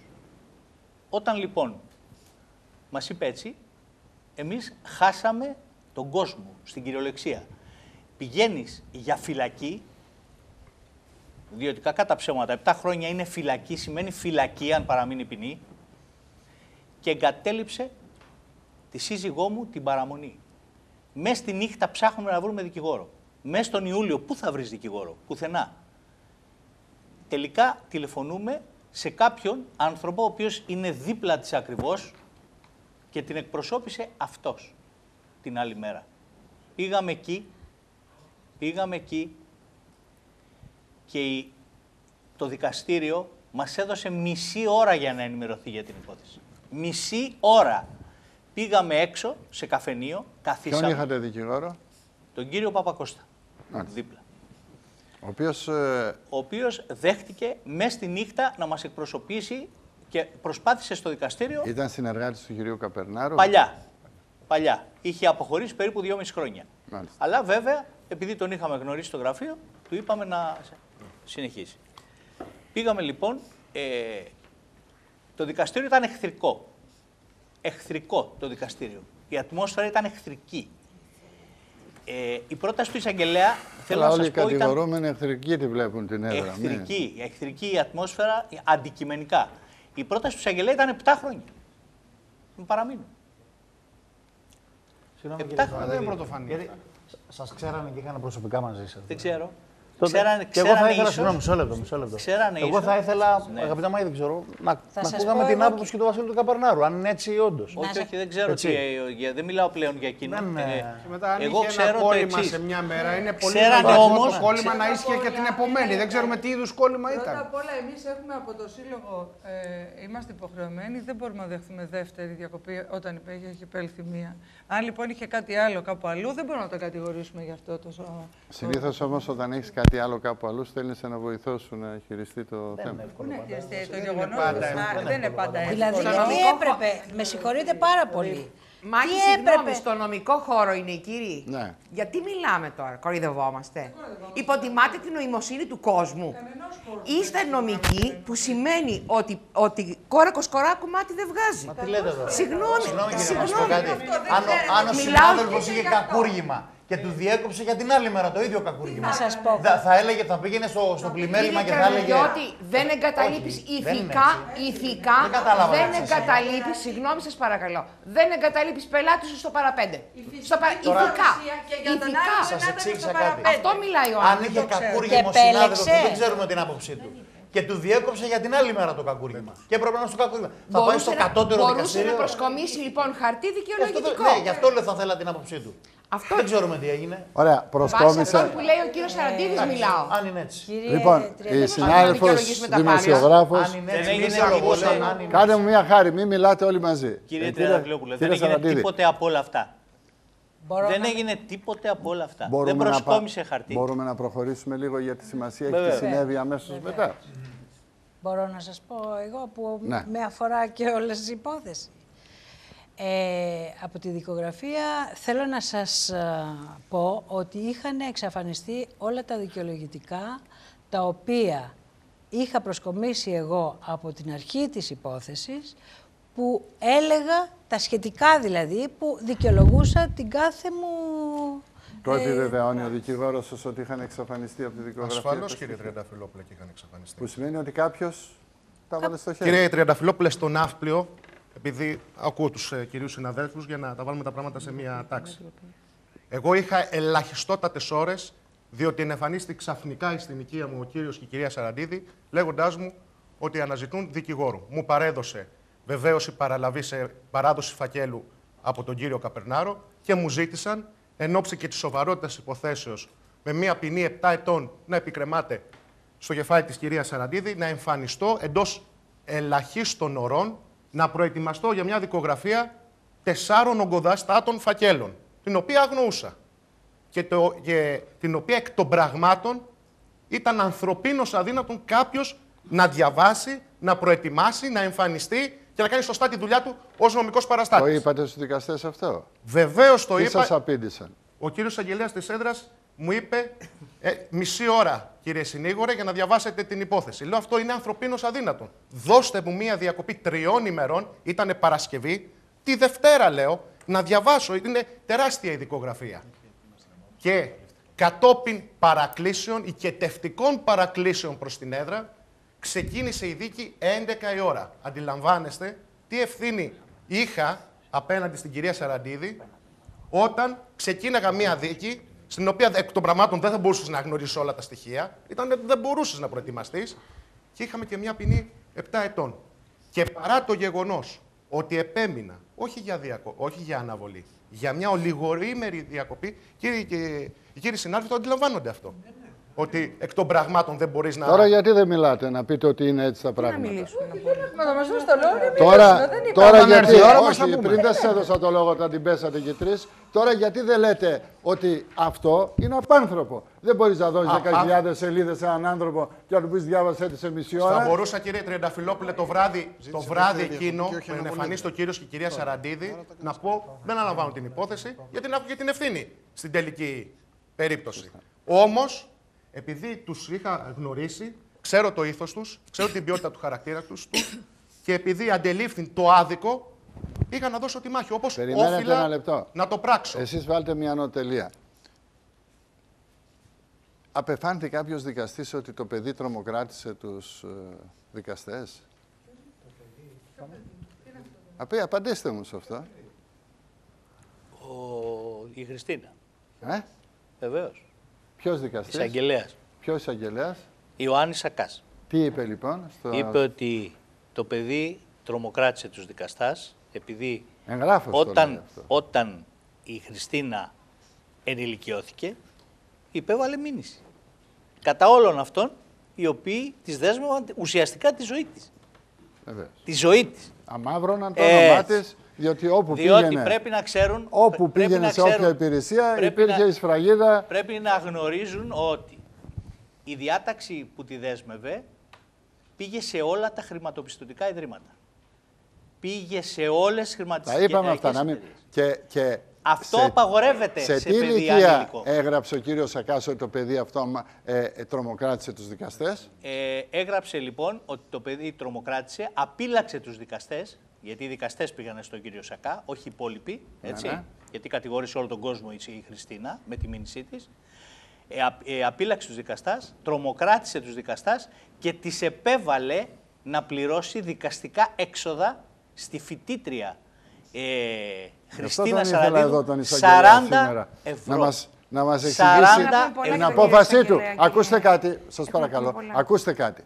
Τελικά. Πείτε μου τώρα εσείς, άλλαξε η ημερομηνία επάνω στο έγγραφο δέσμευσης ως προς το 92 που ξανά έγινε 96. Έτσι, μπράβο. Την άλλαξε ο επόμενος ε, Όταν κάναμε εισαγγελέας. αίτηση για τις διατάξεις, για να έρθουν οι διατάξεις, ε, ο κύριος Αγγελεύς και το βούλευμα που επακολούθησε άλλαξε την ημερομηνία από 92 του νόμου και είπ- ε, αναφέρει μέσα ότι ο νόμος είναι από 24 του 95. Και δεν μπορεί να έχει αναδρομική Δεν ισχύ. μπορεί να έχει αναδρομική ισχύ. Γι' αυτό σας Άρα έλεγα, μην έθαψε φωνάζετε, το συνάδελφό περιμένετε. του ουσιαστικά. Βγήκε απόφαση γι' αυτό, δικαστική. Δεν μου λέτε, ήρθε αυτό από τις υπηρεσίες και από τα χρηματοπιστωτικά ιδρύματα; Όχι βέβαια. Παραμένει Παρέμεινε μέχρι- η πρώτη. Μέχρι σήμερα; Μέχρι σήμερα. Τα ακούτε; Σε οποιοδήποτε Η δεύτερη δεν υποδικοφυλακείο. είναι στάλη. Όχι. Εσείς δεν με ρημνήσατε να την πάτε. Και Την έχετε σαν πει με σήμερα. ρίμνησαν, άμα δεν τη στέλνει ο άλλος, πώς θα την πάρεις με το ζόρι; Θα να την ανοίξεις, θα πάμε; διαρρήξεις; Κύριε τα Τριανταφυλόπουλε, δικαστικά μέγαρα να είχε πάρεις να αλλάξεις πάει, την είχε- ημερομηνία. Μέχρι σήμερα για αυτό το παιδί, παρότι βγήκε απόφαση, παρότι διορθώθηκε, παρότι απεφάνθησαν, παρότι τελικά έφαγε δύο χρόνια για αυτή την ιστορία, γιατί τα 7 έγιναν δύο χάρη στην, στη, στη σπουδή του δικηγόρου και την τύχη που είχαν να ανατρέψουν ένα δικαστήριο το οποίο όχι μόνο ήταν εχθρικό, αλλά τους έλεγε διαβάστε στο δικηγόρο και 10.000 σελίδες σε μισή ώρα και άμα γουστάρετε. διαβα- Έτσι αποδίδεται η δικαιοσύνη. Μάγκη, μισό λεπτό. γίνεται και Α, στα Όταν, όταν κακουργήματα. ήταν από αναβολή και όλα η υπόθεση που Δώστε στην μου. διακοπή. Είχε αναβολή προηγουμένως. Δώστε μου, Ήτανε- δώστε ήτανε, μου, ε, δώστε για μου λίγα παραγραφή. λεπτά να πάω σε ένα διάλειμμα. Ακούσατε τι είπε. Ένα- Ήταν προς παραγραφή, λέει. Γι' αυτό το κάναμε. Περιμένετε λίγο, περιμένετε, περιμένετε λίγο. Θα...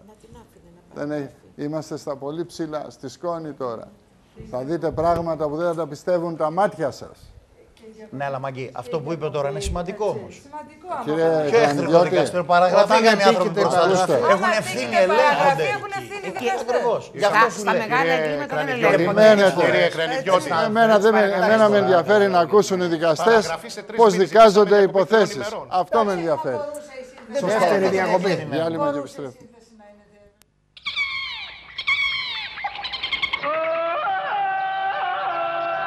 Είναι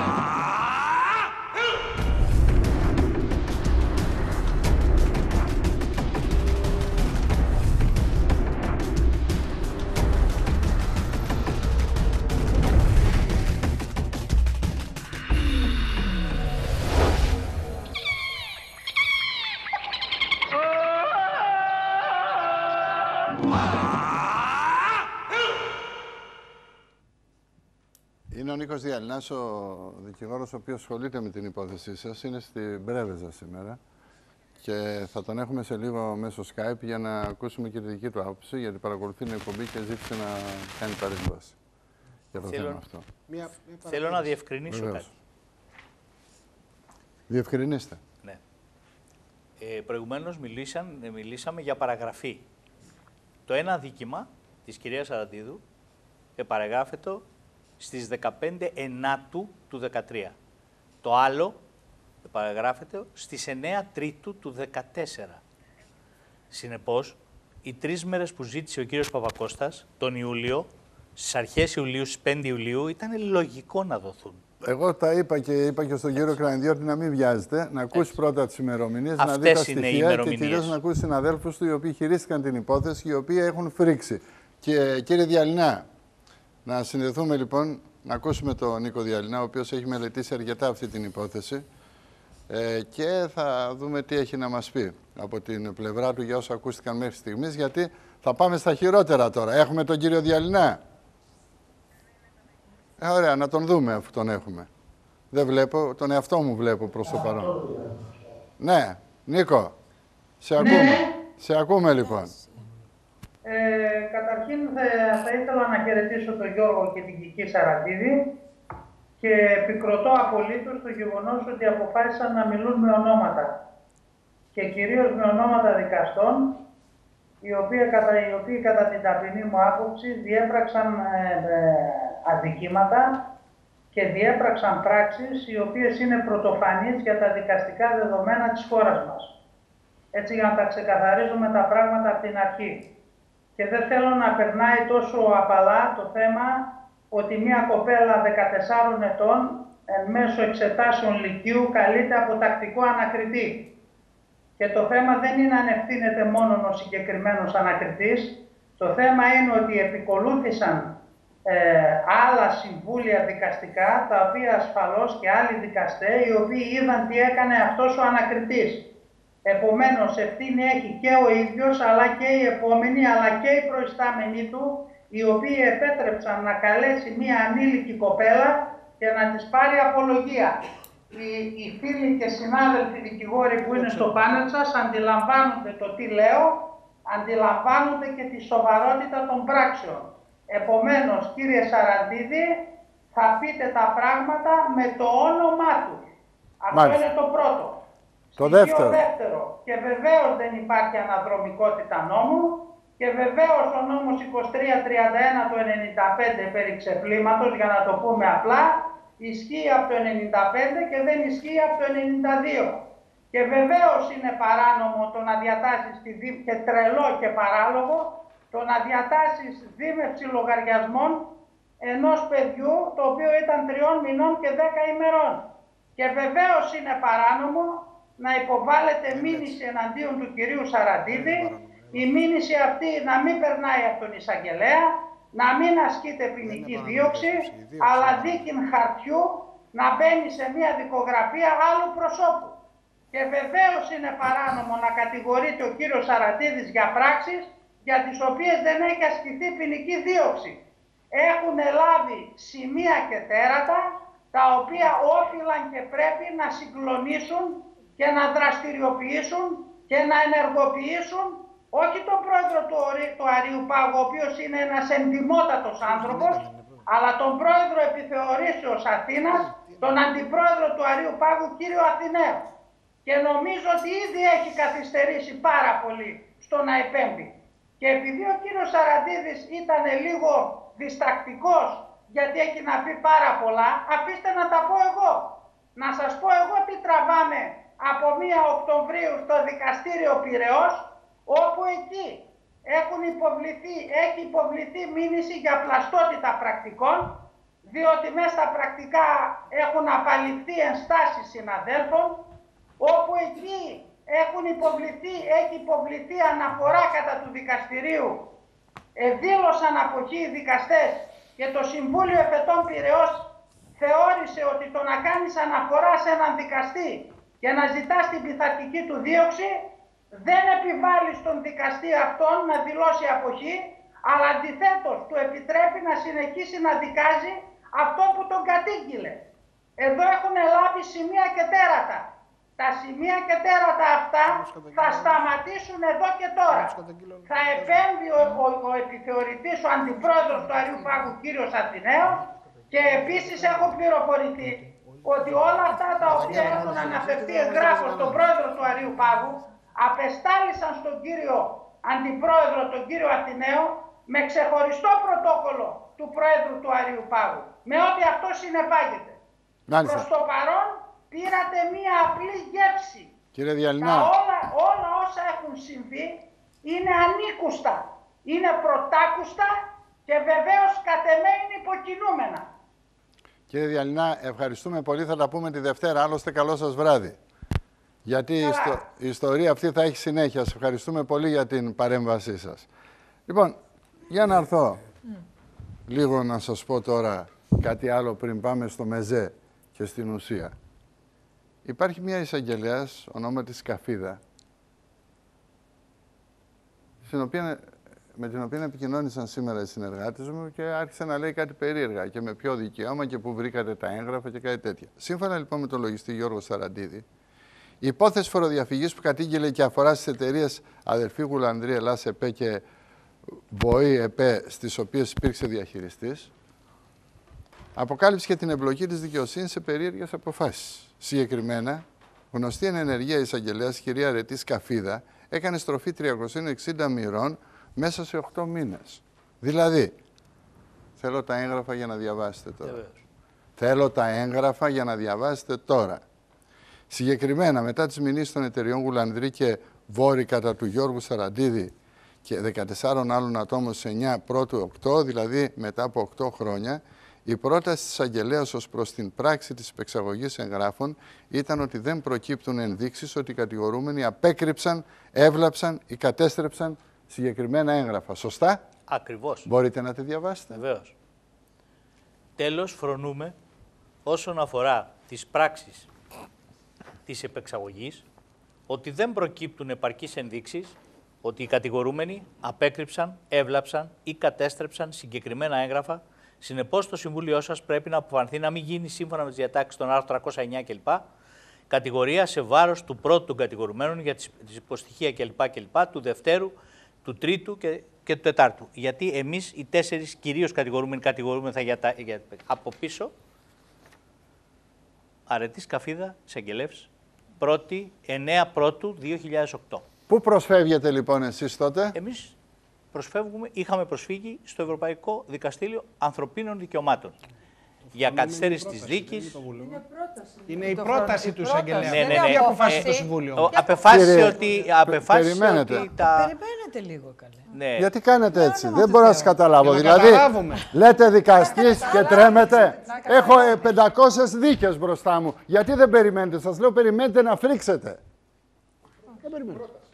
Περιμένετε, για την πρόταση λέμε. Ε, τα κατόπιν απειλάγημεν για την επεξαγωγή. Δι' αποφάσεως. Δια αποφάσεως, δια, διαβουλεύουμε το σκέλος. Και προσφύγατε Ανεξάρτητα στα όμως. ευρωπαϊκά Αυτό δικαστήρια. Ήταν, αυτό ήταν εν γνώση λοιπόν της απαλλαγής, ήταν εν γνώση της κυρίας Καφίδα. Εμείς λοιπόν είχαμε προσφύγει και στο Ευρωπαϊκό Ανθρωπίνων Δικαιωμάτων, στο Ευρωπαϊκό Δικαστήριο. Εκεί λοιπόν είπαν, απέστειλαν γράμμα από εκεί και είπαν Περιμένετε ότι τώρα. κάποιος πρέπει. Περιμένετε. Ναι. Μετά λοιπόν από λίγους μήνες, η ίδια εισαγγελεύς, συγκεκριμένα την 1η Ιουνίου του 9, αλλάζει την άποψή της ξαφνικά, παραθέτοντας ακριβώς τα αντίθετα από αυτά που είχε προτείνει και με τα οποία είχε απαλλάξει τους κατηγορουμένους. Πού στέλνει αυτή την, το σκεπτικό της η κυρία εισαγγελεύς; Μέσω του Προέδρου του Νομικού Συμβουλίου του Κράτους, αναφέρεται προς τον κύριο Πρόεδρο του Νομικού Συμβουλίου του Κράτους, το στέλνει αυτό στο Ευρωπαϊκό Δικαστήριο Ανθρωπίνων Δικαιωμάτων. Διαβάστε το τώρα. Ακούστε λοιπόν τι λέει η κυρία Σκαφίδα το δε, τον, σε ένα χρόνο. Και είναι εκείνοι που κατέστρεψαν τα έγγραφα στοιχεία που θα διευκόλυναν τη γρήγορη διεκπαιρέωση της υπόθεσής τους, με αποτέλεσμα να χρειαστεί περισσότερος χρόνος για τη διενέργεια της λογιστικής πραγματογνωμοσύνης ήδη το ένα έτος. Άλλωστε, οι κατηγορούμενοι θα έπρεπε να συμβάλλουν στη γρήγορη διεκπαιρέωση της υπόθεσης και όχι να καταστρέφουν στοιχεία που ως εντολοδόχοι της ξένης περιουσίας όφυλαν να διατηρούν και μάλιστα σε κατάσταση κλπ. κλπ. Για να ακούσω λίγο. Αθήνα, 1η έκτου 9, αρετή, σκαφίδα, αντιαεισαγγελέας, Για να σας ακούσω λίγο. Εδώ πρέπει να συζητήσουμε τι έχει γίνει. Πρώτον, νομίζω ότι εδώ θα πρέπει η κυρία Σκαφίδα, η οποία σας απήντησε, να μας απαντήσει και μας γιατί το έκανε. Το ρεπορτάζ. Τι συμβαίνει; Έτσι, για το Θεαθήνα και επιστρέφουμε.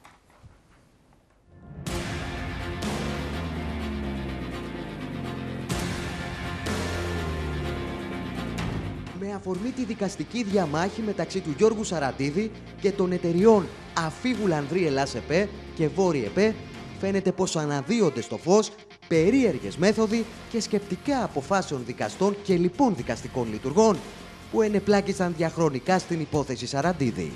Απόψε η εκπομπή αποκαλύπτει και διαιρωτάται για τη στροφή των 360 μοιρών που έκανε αποδεδειγμένα γνωστή εν ενεργεία εισαγγελέας σε πρόταση που η ίδια εισηγήθηκε 8 χρόνια νωρίτερα. Μετά από πέντε ανακρίσεις, πέντε ανακριτάς, το 2008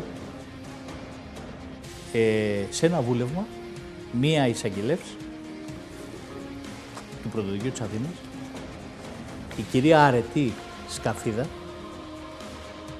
κάνει τις προτάσεις της, τις προτάσεις της, οι οποίες αναφέρουν, αναφέρουν οι προτάσεις της. Να μην γίνει κατηγορία σε κανένα κατηγορούμενο, συνεπώς διάβασε την, ε, την ουσία της υποθέσεως, όμως σε, στην πρότασή της υπάρχει και μια παράγραφος η οποία λέει τα εξής. Τέλος φρονούμε όσον αφορά τις πράξεις της υπεξαγωγής, γιατί είχαμε κατηγορηθεί και για υπεξαγωγή και για πιστία, ότι δεν προκύπτουν επαρκείς ενδείξεις ότι οι κατηγορούμενοι απέκρυψαν, έβλαψαν ή κατέστρεψαν συγκεκριμένα έγγραφα. Συνεπώς, το Συμβούλιο σας πρέπει να αποφανθεί να μην γίνει σύμφωνα με τις διατάξεις κατηγορία κατά τον κατηγορουμένο για υπεξαγωγή. Αυτή λοιπόν η παράγραφος μας απείλαξε. Ως πλημεληματική πράξη βέβαια ήταν η υπεξαγωγή εγγράφων, όμως με, με επιφράγηση της αυτής εμείς απειλάγημένοι. Η κυρία Σκαφίδα λοιπόν, η οποία υπογράφει εδώ πίσω, στις 9 Πρώτου του 2008, αυτή είναι η υπογραφή της, στις 9 Πρώτου του 2008, με αυτή της την πρόταση, μας απείλαξε ουσιαστικά, προτείνει την απαλλαγή μας από την υπεξαγωγή εγγράφων. Μετά από ένα χρόνο, και επειδή είχαμε καταφύγει στο Ευρωπαϊκό Δικαστήριο Ανθρωπίνων Δικαιωμάτων, όλοι σε κατηγορούμενοι, η κυρία Σκαφίδα ζητήθηκε, φαίνεται, από το Δικαστήριο ε, Ανθρωπίνων Δικαιωμάτων ή από τον προϊστάμενό της τότε να γράψει έκθεση μέσω του Προέδρου του Νομικού Συμβουλίου του Κράτους προς το Ευρωπαϊκό Δικαστήριο Ανθρωπίνων Δικαιωμάτων που είχαμε προσφύγει. Σε αυτή λοιπόν την, ε, την πρότασή της, το έγγραφό της, αναφέρει, επιλέξεις τα εξής. Για μας τους κατηγορούμενους. Και είναι εκείνοι που κατέστρεψαν τα έγγραφα στοιχεία που θα διευκόλυναν τη γρήγορη διεκπαιρέωση της υπόθεσής τους με αποτέλεσμα να χρειαστεί περισσότερος χρόνος για τη διενέργεια της λογιστικής πραγματοσύνης ή το ένα έτος. Άλλωστε οι κατηγορούμενοι θα έπρεπε να συμβάλλουν στη γρήγορη διεκπαιρέωση της υπόθεσης και όχι να καταστρέφουν στοιχεία κλπ. Το λοιπόν από κάτω, πρώτη έκτου του 9, είναι η υπογραφή της κυρίας Αρετής Σκαφίδα. Τίθενται δύο ερωτήματα. Το πρώτο ερώτημα είναι τι πίεσης δέχτηκε να γράψει αυτό το γράμμα; Εφόσον γνώριζε η ίδια, είχε κάνει πρόταση και γνώριζε ότι είχαμε απαλλαγή για την υπεξαγωγή. Ποιος την πίεσε να κάνει, να γράψει αυτό το γράμμα; Και δεύτερον, πώς είναι δυνατόν ένας δικαστής με αντιφατικές απόψεις που έχει να καταστρέφει ολόκληρη οικογένεια. Να καταστρέφει ανθρώπους οι οποίοι έχουν καταφύγει στο Ευρωπαϊκό Δικαστήριο για να βρουν το δίκαιο τους. Να ακούσουμε, θέλω λίγο να κάνουμε, λίγο, να, να συστήσουμε τους, τους ανθρώπους μας που είναι εδώ. Από αριστερά έχουμε τον κύριο Μουστάκη Λάμπρο, είναι άνεργος φιλοξενούμενος στους ξενώνες του Δήμου Αθηναίων. Είναι ο Δημήτρης Γούγος, άνεργος, φιλοξενούμενος στους ξενώνες του Δήμου Αθηναίων. Είναι η Ειρήνη Δρυμώνη, οχταμελής οικογένεια με έξι παιδιά. Είναι η κυρία Καραξέρη Παρασκευά, μέλος Ένωσης Φορολογουμένων. Υπάρχει τέτοια ένωση. Ναι, και Πόπη Σουφλή, δημοσιογράφος συνάδελφος από τα Αττικά Νέα. Καλησπέρα. Και από Έστω την και αργά. εδώ πλευρά, τους έχετε δει τους περισσότερους, ο κύριος Γιάννης Μιχαλογιαννάκης, βουλευτής του ΣΥΡΙΖΑ, ο Φάιλος Κρανιδιώτης, τέλεχος της Νέας Δημοκρατίας και δικηγόρος, ο Γιάννης Χατζιαντονίου, δικηγόρος, υποψήφιος βουλευτής Β' Αθήνας στο ΣΥΡΙΖΑ, η Χρύσα Εψίμου, δικηγόρος, ο Επαμεινώντας Τιλόπουλος, δικηγόρος, ο κύριος Παπακώστας, ο Μιχάλης Παπακώστας, δικηγόρος. Και βέβαια το Ζεύγος Σαραντίδη. Και να σας δώσω το λόγο γιατί θέλετε να πείτε κάτι νωρίτερα. Καταρχήν, για όσους έχουν μια σχέση με το δίκαιο που αφορά τις τράπεζες, ο 2331 δεν είναι ο πρώτος νόμος που προβλέπει άνοιγμα λογαριασμών και δέσμευση. Υπάρχει και προγενέστερο διάταγμα, δεν θυμάμαι αυτή τη στιγμή τον αριθμό, το, τα στοιχεία του υπάρχει σίγουρα προγενέστερος νόμος που ανάγεται στη δεκαετία του 70. Νομίζω επί δικτατορίας. Άρα μπορούσαν να δεσμευτούν λογαριασμοί. Ασφαλώς είναι άλλο θέμα η ποινική δίωξη που δεν μπορεί να ανάγεται σε προηγούμενο νόμο και δεν έχω κάτι Μα συγκεκριμένο γι' αυτό υπόψη. άλλωστε το ανέτρεψε το, ε, η δικαιοσύνη Όχι. η ίδια ανέτρεψε Μπορούσε αυτή την όμως και απόφαση. με το προγενέστερο δίκαιο να δεσμευτεί ο λογαριασμός. Νομικό Ωραία. είναι το θέμα ή ηθικό, Ο κύριε δικαστής με Καγγελή; βάση τον νόμο κρίνει. Ωραία, Εσείς Αφήστε μπορεί... το, υπάρχει- Υπάρχουν πολλά πράγματα επίσης που στον μέσο άνθρωπο ακούγονται τραβηγμένα ή υπερβολικά και που γι' αυτό που τα βλέπει από πιο κοντά Μα εδώ δεν δεν έχουμε ισχύουν. νόμο, εδώ έχουμε Να σας πω κατάληψη κάτι. του νόμου. Ο κόσμος έχει την αίσθηση, υπάρχει μια έρευνα του Εθνικού Κέντρου Κοινωνικών Ερευνών, έχει την αίσθηση ότι οι δικαστές είναι πολύ καλοί νομικοί και αποφασίζουν πολύ σωστά, ότι είναι πολύ επαρκείς. Αυτό και, ότι, και επίσης έχει την αίσθηση ο κόσμος ότι η διαφθορά στο δικαστικό σώμα είναι τεράστια. Ωραία, είναι κύριε- κύριε είναι Χατζη- αναλυθές αυτό, κύριε γιατί Χατζιαντονίου. δημιουργείται από τις λάθος αποφάσεις που Σωστά. λαμβάνονται. Εγώ λοιπόν Μου σας επιτρέπει. ερωτώ. ε, Μάκη, συγγνώμη, σε, σε Ναι. παρακαλώ, δώσ' μου το λόγο γιατί είναι πολύ σοβαρό. Δημόσια δήλωση συνέντευξη του κυρίου Καπερνάρου. Η δικαιοσύνη δεν είναι ανεξάρτητη. Αυτό είναι άλλο θέμα. Όχι, κύριε. Αυτό Είναι άλλο μαζί. πράγμα η Πάει ανεξαρτησία πακέτο, και άλλο η πάει διαφθορά. Πολύ μεγάλο Μην τα λάθος. μπλέκουμε αυτά. Είναι, όχι, πακέτο πάει. Γιατί. Κάτι πακέτο άλλο- πάει. κάτι μισό άλλο- λεπτό. Μισό λεπτό. Καθ' υπερβολή ίσως. Όχι, καθόλου. Και μάλιστα δίνει στοιχεία. Εγώ έχω συναντήσει. Ο κύριος επειδή- Παξινός Ακούστε, έκανε, έκανε α, ως, ως πρόεδρος του Δικηγορικού Έχω Συλλόγου. συναντήσει τόσο ανεξάρτητους δικαστές, Σαφώς, ώστε έχοντας υπάρχουν. απέναντί μου αντίδικο τον Υπουργό Δικαιοσύνης να με αθώνουν και να τους λέει ο Υπουργός από κάτω, ο αείμνηστος Γιαννόπουλος, ότι εσένα θα δεις που θα σε στείλω όταν τελειώσει η δίκη. Στο δικαστή. Έτσι. Τι μου λέτε τώρα. Και γελούσε ο λέμε ότι δικαστής, δικαστής είναι- το οποίο Όχι, δεν γενικεύω. το όνομα το έχω επαναφέρει. Δεν είναι ωραίο. Δεν γενικεύω. Δεν είναι ωραίο. Είμαστε, Ναι. είμαστε Ένα σχεδόν μεγάλο 30 λοιπόν- χρόνια στα όμως, δικαστήρια. δυστυχώς. Δεν είναι έτσι. Και χαμογε... όπως έχω συναντήσει εισαγγελέα, και θα το πω αυτό, είναι ο, ο τότε αντισαγγελέας πρωτοδικών Γεράκης, ο οποίος είπε στο Μεγιστάνα που μπήκε μέσα στο γραφείο του με κομπολόι, βάλ το κομπολόι στην τσέπη για να μην σε στείλω αυτόφορο και σε χώσω μέσα. Και έμεινα με το στόμα ανοιχτό γιατί ήταν ένας μικρός αντισαγγελέας που του είπε βάλ το κομπολόι στην τσέπη και φύγε από το γραφείο μου έξω για να μην ασκήσω τα νόμιμα και πας μέσα. Αφήστε τα αυτά. Να μην λοιπόν, ισοπεδώνουμε άλλο. ανεξαρτήτως πολιτικών Όχι, δεν τοποθετήσεων, μιλάμε για την πολιτική τοποθέτηση. ανεξαρτήτως Μιλάμε για το συναισθημάτων και πλέον θυμικού, τι- τι- Διαδεδομένα, κύριε Τριανταφυλόπουλε. ακούστε, Σε συνέντευξή του ο κύριος Καπερνάρος το δηλώνει. Να πούμε για τον κύριο Καπερνάρο. Δηλαδή σημαίνει ότι υφίσταται. Συγγνώμη, θα τους συγγνώμη. βάλει Ωραία, πάνω ωραία. στους Σας 13 παρακαλώ του πολύ. Υπουργείου. Μου κάνετε μια χάρη. Δεν είναι το θέμα μας αυτό. Να πω για το θέμα της αναβολής κάτι. Όχι, θέλω. Καμιά φορά Γιατί υπάρχει δεν μια λέτε για το πρακτική θέμα. δικηγόρων, Γιατί είναι δεν συνάδελφοί μιλάτε μας, για, αλλά να πούμε γιατί την αλήθεια δεν εδώ. μιλάτε για το θέμα της αγγελέως, η οποία από τη μία στιγμή Θα σας και πω στην και γι' άλλης αυτό. σε έξι... Όχι, με αυτό είναι το θέμα. Όχι, Πώς ένα κυρία μου λεπτό. σε έξι για το μήνες ζήτημα της αναβολής, αλλάζεις για το γιατί ίδιο εδώ θέμα; πέρα λειτουργούμε, πράγματι υπάρχουν μερικά πράγματα που πρέπει να τα βλέπουμε από όλες τις πλευρές. Για το θέμα της αναβολής. Όντως είναι τραβηγμένο να ζητάει ένας δικηγόρος τρεις μέρες και να μην τους δίνουν. Όμως προσέχετε και την, την πιθανή εκδοχή. Εγώ δεν ξέρω την περίπτωση, τώρα την ακούω πρώτη φορά. Υπάρχουν δυστυχώς και, οι δικηγο- και οι δικηγόροι, δεν είμαστε άγγελοι. Υπάρχουν πολλοί συνάδελφοι δικηγόροι που υποδεικνύουν στον πελάτη τους να δηλώσει υπαρκτά ή ανύπαρκτα κολλήματα και αλλαγή δικηγόρων για να επιτύχει αναβολές. Επειδή- Ένας δικαστής λοιπόν, δεν τους ξέρω τους ανθρώπους, που ξέρει ότι ο κ. Πώς δεν τους συνάδελφος ξέρετε, τους ήταν μάθατε. συνεργάτης του κυρίου Καπερνάρου, μπορεί να υποθέσει ότι πρόκειται για μεθόδευση αναβολής.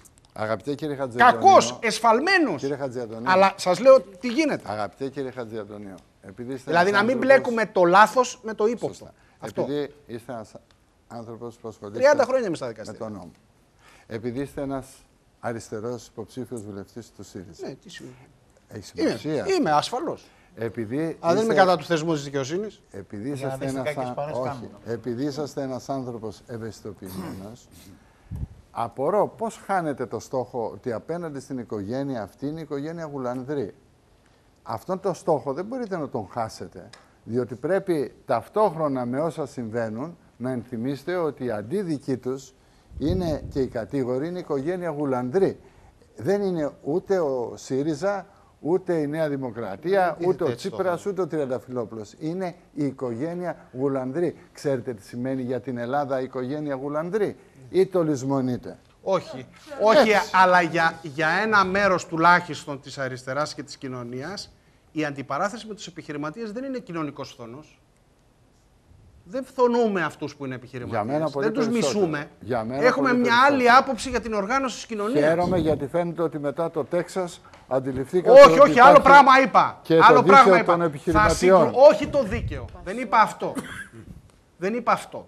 Αλλά- Είπα ότι δεν αντιμετωπίζουμε έναν επιχειρηματία επειδή είναι επιχειρηματίας ως εχθρός. Αστείο. Είναι αντίπαλο Να σε σε προκαλέσω κοινωνικά εγώ πιο ζητήματα, πολύ, αν όχι σαν θέλεις. άτομο. Να σε προκαλέσω πιο πολύ. Μην το Δεν κάνεις σημαίνει, αυτό. δεν σημαίνει επίσης ότι ο ισχυρός, ο οικονομικά ή κοινωνικά Έχει ισχυρός, πάντα άδικο. Ότι έχει άδικο. Όχι. Γιατί εμείς μιλάμε για μια υπόθεση. Δεν σημαίνει. ξέρουμε Ο τώρα. επιχειρηματίας, Δεν σημαίνει. αν έχει άδικο, Δηλαδή, να δεν συντριβεί. μπορεί να έχει δίκιο ο Γουλανδρής. Κύριε Σαραντίδη, Έτσι, το ξέρουμε ό- εμείς αυτό. ακούστε λίγο. Όταν ήρθε ο κύριος Σαραντίδης στο γραφείο μου πρόσφατα, του είπα εάν εσύ, ο κατά αυτούς ανθρωπάκος, έχει σηκώσει δίκαια το αναστημάσου απέναντί τους, Πρέπει να δικαιωθεί. εγώ θα ασφαλώς. μείνω δίπλα σου μέχρι το τέλος. Το είπα. Και εμείς μαζί. Ουέ και αλίμονο, εάν έχεις υπεξαιρέσει χρήματα, αν έχεις κάνει κομπίνα, αν έχεις βουτήξει τα λεφτά του Γουλανδρή και θες τώρα να τον διασύρεις και δημόσια. Ακούστε λοιπόν. Τώρα θα πάμε στο ΜΕΖΕ για να δείτε πόσοι υπουργοί, υφυπουργοί, γενικοί γραμματείς Ένα έκαναν σύστημα μούγκα όταν ο άνθρωπος αυτός ως λογιστής επικεφαλής λογιστής του λογιστηρίου του κυρίου Γουλανδρή πήγε στις υπηρεσίες και τους είπε «Μάγκες, έχουμε αυτή τη φοροδιαφυγή και είναι τα χρήματα του ελληνικού λαού. Εγώ χειριζόμουν τους λογαριασμούς. Εδώ έχει γίνει κλοπή του τρένου. Τι έχετε να πείτε». Πάμε σας παρακαλώ να δούμε το επόμενο βίντεο με το πρόστιμο και, τον κύριο. Ε, με- γι' αυτό ξέρω ότι έχετε γίνει ηφαίστειο, γι' αυτό δεν σας τον δίνω. Πάμε να δούμε το ρεπορτάζ.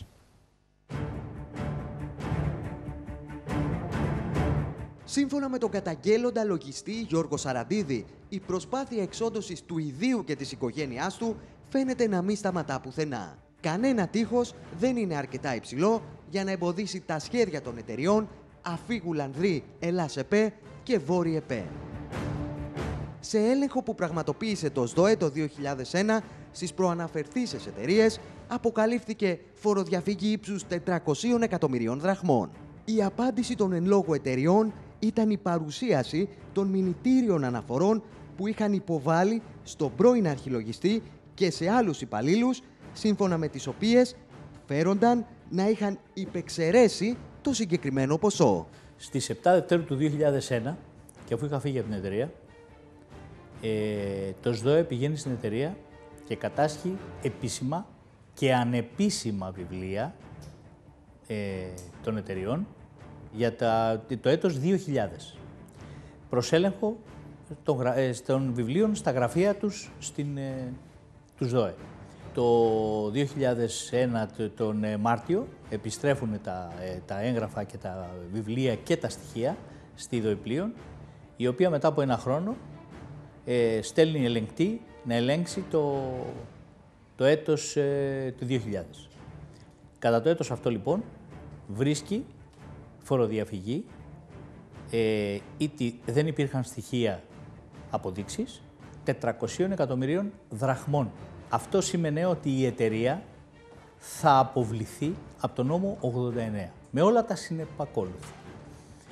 Και ως εκ τούτου αναθέτουν σε κάποιον διαμεσολαβητή, πολύ γνωστό, λέγεται Γεώργιος Αλεξανδρίδης, ο οποίος κάνει αίτηση επανελέγχου για την εταιρεία.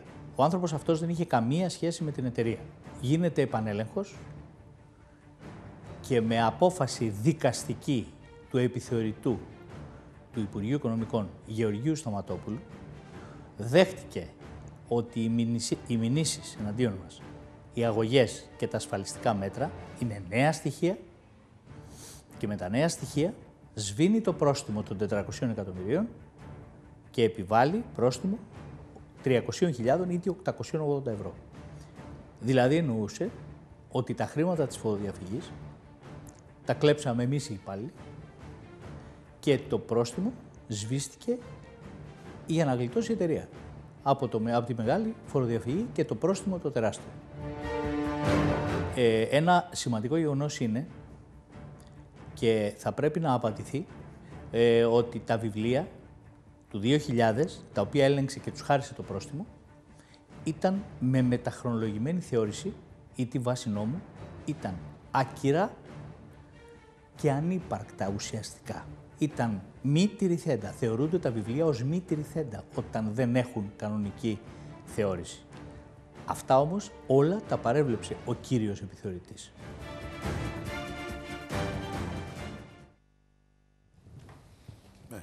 Τώρα θα κάνουμε ένα διάλειμμα υποχρεωτικό και μετά θα πάμε στους υπουργούς, στους υπουργούς, στους γενικούς γραμματείς και εκεί που εσείς πήγατε να καταγγείλετε τη φοροδιαφυγή, δηλαδή την απώλεια των χρημάτων του Έλληνα πολίτη.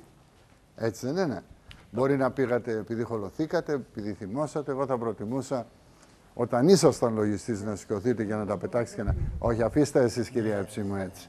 Ναι. Αμέσως έτσι πεταχτήκατε έτσι. Όχι. Έχεις Το ρώτησα παιδιά; κι εγώ. Ναι, εσείς ειδικά; κι εγώ στον Ναι, κύριο Σαραντίδη. έχω δει, το, Γιατί δεν πήγατε έχω πιο δει την πριν. ηρωική συμπεριφορά των δικηγόρων που μόλις... Α, μην να το τα ρώτησα, πάρω τώρα από στο κάτι κρανίο. λάθος, το ρώτησα Γιατί ζητάμε από τους πολίτες να είναι ήρωες όταν από εκεί τρώει ψωμί το παιδί τους; Όχι, εγώ τον ρώτησα προηγουμένως ε, τη χρονική ε, πορεία των πραγμάτων, πότε πήγε να κάνει την καταγγελία για τα οικονομικά, για να δω αν υπάρχει σύνδεση. Κάτι λάθος, το ρώτησα προηγουμένως. Είναι σαν να ζητάτε από τον Πρετεντέρη να καταγγείλει τον Βαρδινογιάννη και τον Πόμπολα. Δεν είναι το Εντάξει. ίδιο. Κάντε μου τη χάρη τώρα. Πάμε σε διάλειμμα.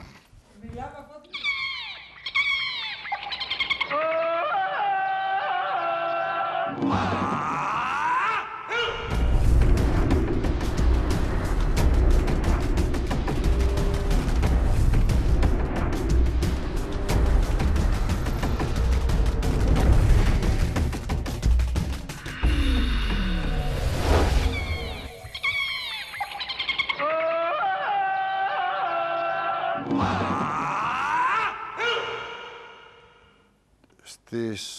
5 Οκτωβρίου του 2001, ο αρχιλογιστής της εταιρείας Βουλανδρή στέλνει ο κύριος Σαραντίδης δηλαδή εμπιστευτικό φάκελο προς τον πρώην Οικονο- Υπουργό Οικονομικών Γιώργο Δρή μέσα στον οποίο αναφέρει στοιχεία για φοροδιαφυγή εκατομμυρίων ευρώ της οικογένειας Βουλανδρή από το 1992 στο 2000. Πώς, τα ευρώ βγήκαν μετά, γιατί ευρώ; Ε, σήμερα, καλά. ε, Τα έχετε μεταφράσει σε σημερινά λεφτά; Ε, Μεταφράσει. ναι, γιατί ε, μου φάνηκε περίεργο. Ο Υπουργός άμεσα μεταβιβά... Δηλαδή, όταν λέτε φοροδιαφυγή εκατομμυρίων ευρώ, σε δραχμές δηλαδή ήταν... Δισεκατομμύρια. Δισεκατομμύρια. Αλλά Μάλιστα. Ο Υπουργός άμεσα μεταβιβάζει το φάκελο στον Υφυπουργό Οικονομικών Απόστολο Φωτιάδη. Ο Απόστολος Φωτιάδης δίνει εντολή σε οικονομικούς επιθεωρητές του Υπουργείου Οικονομικών να ελέγξουν την υπόθεση. Σωστά; Σωστά. Λειτουργήσαν σωστά. Μπράβο τους. Ο πρώτος επιθεωρητής που ελέγχει την υπόθεση είναι ο Γιώργος Σταματόπουλος. Σύμφωνα με το πόρισμα που εξεδόθη το 2005, δεν βρίσκει φοροδιαφυγή. Όχι βέβαια. Όχι. Για την υπόθεση φοροδιαφυγής εκατομμυρίων ευρώ, ο κύριος Σαραντίδης με έγγραφες αναφορές του και στοιχεία έχει ενημερώσει και τον πρώην Υφυπουργό Οικονομικών Αντώνη Μπέζα, Επανέρχομαι. τον πρώην Γενικό Γραμματέα του Υπουργείου Οικονομικών Γεωργακόπουλο, αλλά και τον πρώην Υπουργό Οικονομικών Γιάννη Παπαθανασίου. Σωστά; Σωστά. Για την ίδια υπόθεση ενημερώνει τον ίδιο, απ- ενημερώνεται από τον ίδιο Γιώργο Σαραντίδη και ο πρώην Διευθυντής τους ΣΔΟΕ Νικόλαος Λέκας. Πολύ σωστά. Για πάμε να το δούμε.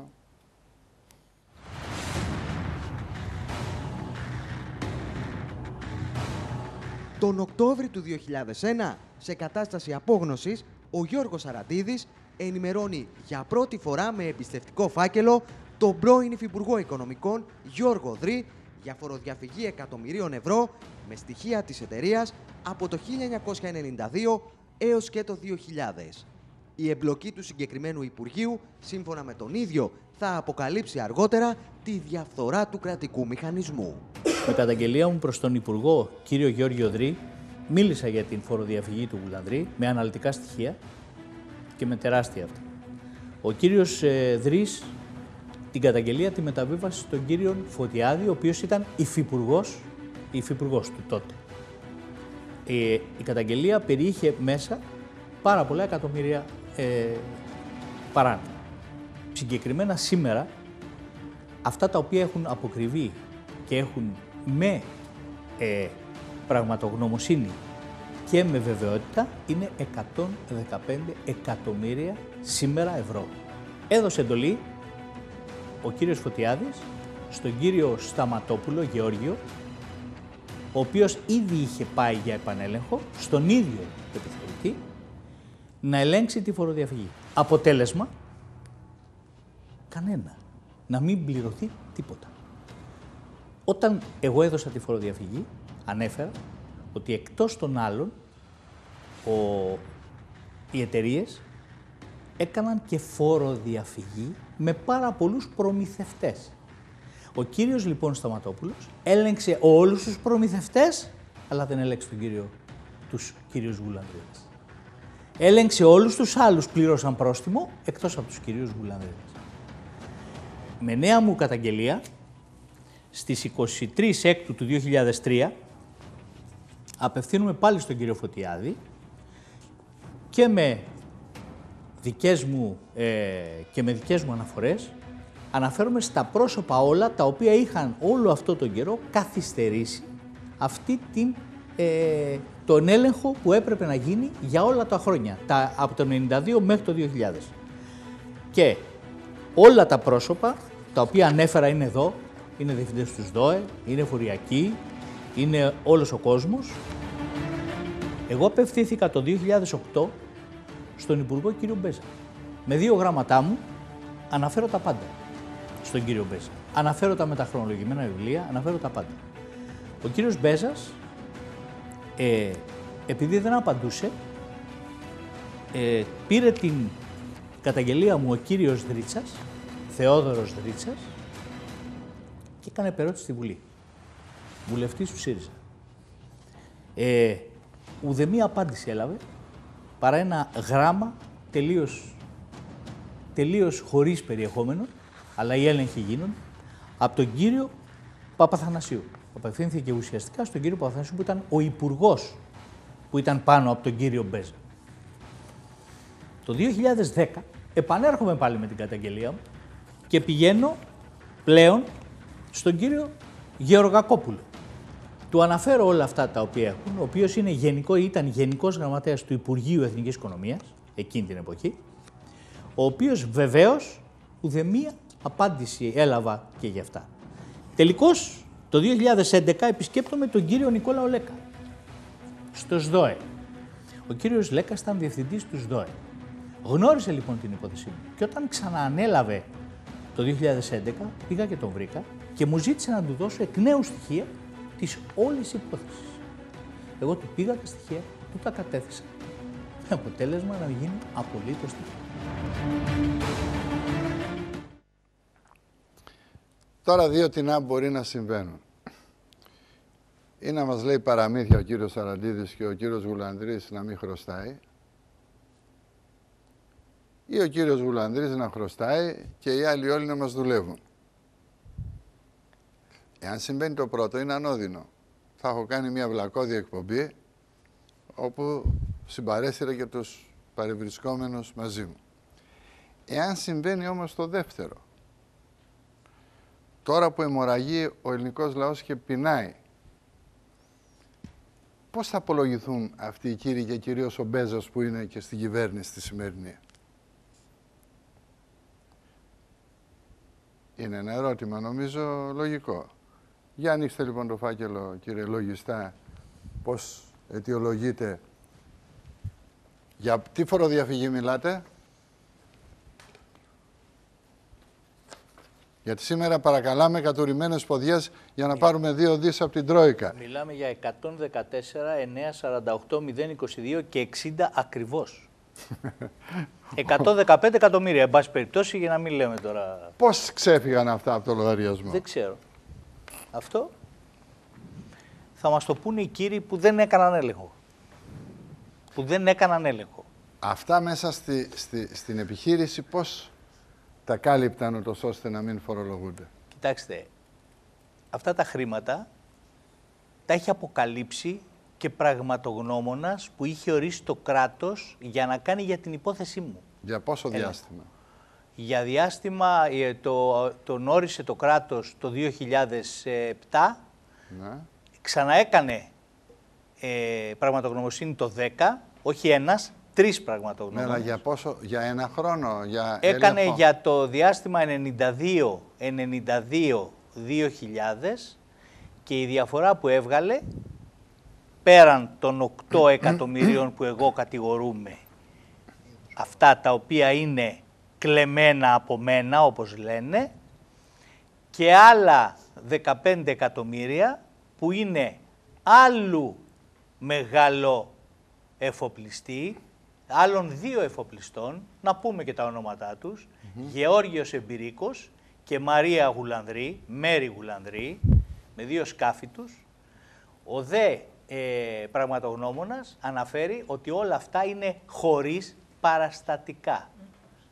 Χωρίς παραστατικά. Η πραγματογνωμοσύνη αναφέρει. Συνεπώς, όλα αυτά τα χρήματα που της πραγματογνωμοσύνης, δεν είναι μόνο αυτά, αλλά όλα αυτά τα χρήματα έχουν πιστοποιηθεί και από άνθρωπο ο οποίος τον έβαλαν για την υπόθεσή μου. Να δει τι έχω κλέψει και πώς τα έχω κλέψει. Από ανθρώπους που τους έβαλαν για μένα.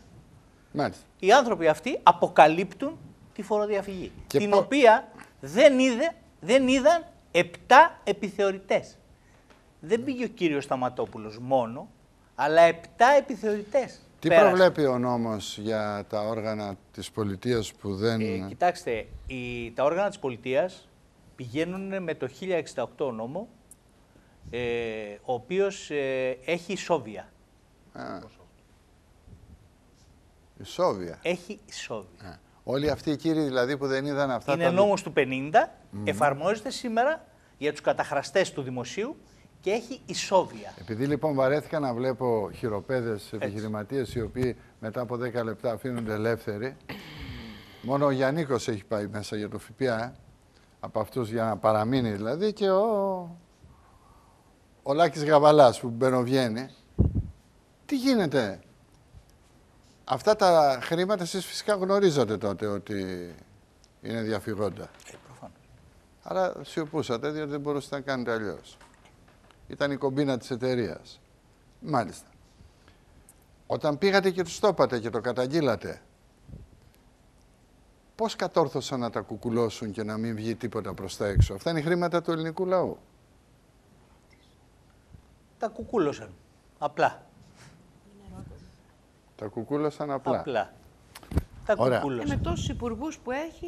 Είναι από ωραίο πάνω. γιατί έχω άνεργους απέναντι. Τα κουκούλωσαν απλά. Έχω ανέστιους ανθρώπους οι οποίοι κοιμούνται στους κοιτώνες του Δήμου Αθηναίων και είναι ωραίο να βλέπουν οι Έλληνες απέναντι τον συνάνθρωπο να πεινάει και τον άλλο να κουκουλώνει και να έρχεται αυτός που κουκουλώνει τα οφειλόμενα να βγάζει λόγο στον άλλον που πεινάει και να ζητάει την ψήφο του. Λόγω ήθους. Ε; Λόγω και λόγω ήθους. Έτσι, λέ- λόγος με όμικρον, όχι. Έτσι, να μιλάει περί ηθικής. Μάλιστα. Το τραγικό είναι ότι εσείς μαζί με τον εφοπλιστή καταγγέλλετε και τον επιχειρηματία, τον συμπέθερο. Και εκεί αρχίζουν τα προβλήματα. Γιατί εκεί τα πράγματα γίνονται πολύ δύσκολα. Και όταν μιλάτε για 700 εκατομμύρια φοροδιαφυγή, τουλάχιστον, έτσι δεν είναι, Τουλάχιστον. τουλάχιστον, όταν μιλάμε για δανεισμό ύψους; Ενός δισεκατομμυρίου 700 εκατομμυρίων. εκατομμυρίων. Με εταιρείας, με εταιρεία αξίας; 400 εκατομμύρια. 400 εκατομμύρια. Μπορεί μια εταιρεία με 400 εκατομμύρια να παίρνει δάνειο ενός δις 750 Όχι. εκατομμύρια; Όχι. Αυτά τα χρήματα η εταιρεία είναι καθαρή, είναι, θα μπορού- αν ας πούμε ήταν μια εταιρεία η οποία ήταν καθαρή και είχε έδινε τις εγγυήσεις ότι μπορεί να αποπληρώσει αυτά τα δάνεια, θα μπορούσε να πει κανείς ότι χάρη της ανάπτυξης της δίνουμε ένα δις 750 εκατομμύρια. Υπήρχε τέτοια προϋπόθεση. Εσείς που ξέρετε απολογιστικά, γιατί εμείς είμαστε μπούφοι. Εάν εγώ ήμουν τράπεζα δεν θα τα δίνα. Μιλάμε για δάνεια για πλοία. Λα- Δάνεια από τράπεζα. Δάνεια για Αυτά. πλοία μιλάτε. Για Δεν αγορά θα τα προϊόν. έδινα. Ορίστε. Αν εγώ ήμουν τράπεζα, δεν θα τα έδινα. Μάλιστα. Μιλάτε για δάνεια από Θα αγορά μιλ- Όχι, θα- όχι, όχι. Όχι, θα έπαιρνα την καθαρή θέση, Ναι. θα έπαιρνα την καθαρή θέση της εταιρείας και θα βλέπα, θα μπορούσα να δω πόσα μπορούσα να δώσω. Από εκεί και πέρα, εντάξει, είναι θέμα πια. Αυτά τα δάνεια ποιος τα πληρώνει, κύριε Σαραντίδη, σήμερα; Όχι, αυτό είναι μια άλλη υπόθεση. Όχι, όχι, δεν άλλο είναι. λέω, μιλάω γενικά. Ο ελληνικός Ο λαός. ελληνικός λαός. Ε. Διότι πρέπει να αυτά σου τα δώσω δάνεια. στη Signora Ελληνικό. Ακούστε. Γιατί, Δεν παιδιά, εξυπηρετούν από- τα- και να κόψει κεφάλια. Δεν μου Και λέτε. να να κόψει Δεν κεφάλια. εξυπηρετούνται. Αν εξυπηρετούνται, δεν θα Εξυπηρετούνται, κύριε Σαραντίδη, μπορούν να εξυπηρετηθούν. Κοιτάξτε, ε, τμήμα τους μόνο.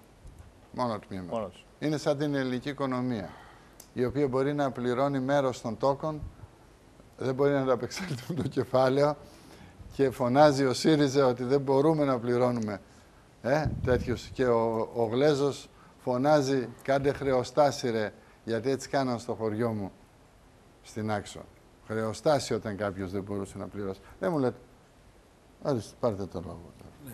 Μ' αφήσετε όμως γιατί δεν έχω μιλήσει καθόλου. Για μένα Μ' και εγώ αφήσετε γι' τρία αυτό σας λεπτά δίνω τουλάχιστον. το λόγο. Λοιπόν, πριν δώσω πολιτική διάσταση στο ζήτημα, γιατί είναι αμυγές πολιτικό το θέμα, από όλη τη συζήτηση δέκα σημεία μου μείνανε στο μυαλό και μετά θα δώσω και την πολιτική μου πρόταση. Το πρώτο είναι ότι εδώ μιλούμε για ένα επιχειρηματία με offshore εταιρείες και που το αντικείμενό τους ερχόταν με άγνωστη είσοδο. Είναι έτσι ή δεν είναι. Πρώτον. Έτσι. Δεύτερον. Μιλούμε για φοροδιαφυγή. Μιλούμε για μη κατάθεση του νόμιμου ΦΠΑ. Τρία. Το τρίτο σημείο. Σαφώς μπαίνει πενιγμός για χρηματισμό. Τέσσερα. Υπάρχουν έσοδα τα οποία είναι μεταχρεωνολογισμένα και τα οποία αυτά καλύπτονται. Αυτό είναι το πέμπτο σημείο. Το έκτο είναι ότι υπάρχει μία παραγραφή η οποία παραγραφή είναι πολύ πονηρή γιατί με την παραγραφή στη μικρά ηλικία και δεν μπορείς να καταγγείλεις και τα χρήματα που παίρνεις δεν μπορείς να τα χρησιμοποιήσεις αντίστοιχα με δίμευση, το έκτο. Ένα άλλο στοιχείο είναι ότι το αδίκημα δεν έχει καταμετρηθεί πολιτικά. Το άλλο είναι ότι υπάρχει αλλίωση στοιχείων, το 8ο. Και το τελευταίο είναι ότι χρησιμοποιείς μια ηλικία της τάξης των 4 ετών για να μπορέσεις να την ποινικοποιήσεις. Αυτή είναι τα σημεία τα οποία εγώ κράτησα από όλο το διάλογο. Και αναφέρονται σε 7 επιθεωρητές, στο ΣΔΟΕ, σε 4 υπουργούς. Είναι έτσι δεν είναι; Έτσι. Έτσι είναι. Λοιπόν, παρακάμπτεται το πολίτευμα, ναι ή όχι; Παρακάμπτεται. Και πώς παρακάμπτεται το πολίτευμα; Γιατί υπάρχει μια αλλίωση της διακριτής της εξουσίας εδώ. Το οποίο είναι πάγιο αίτημα εδώ.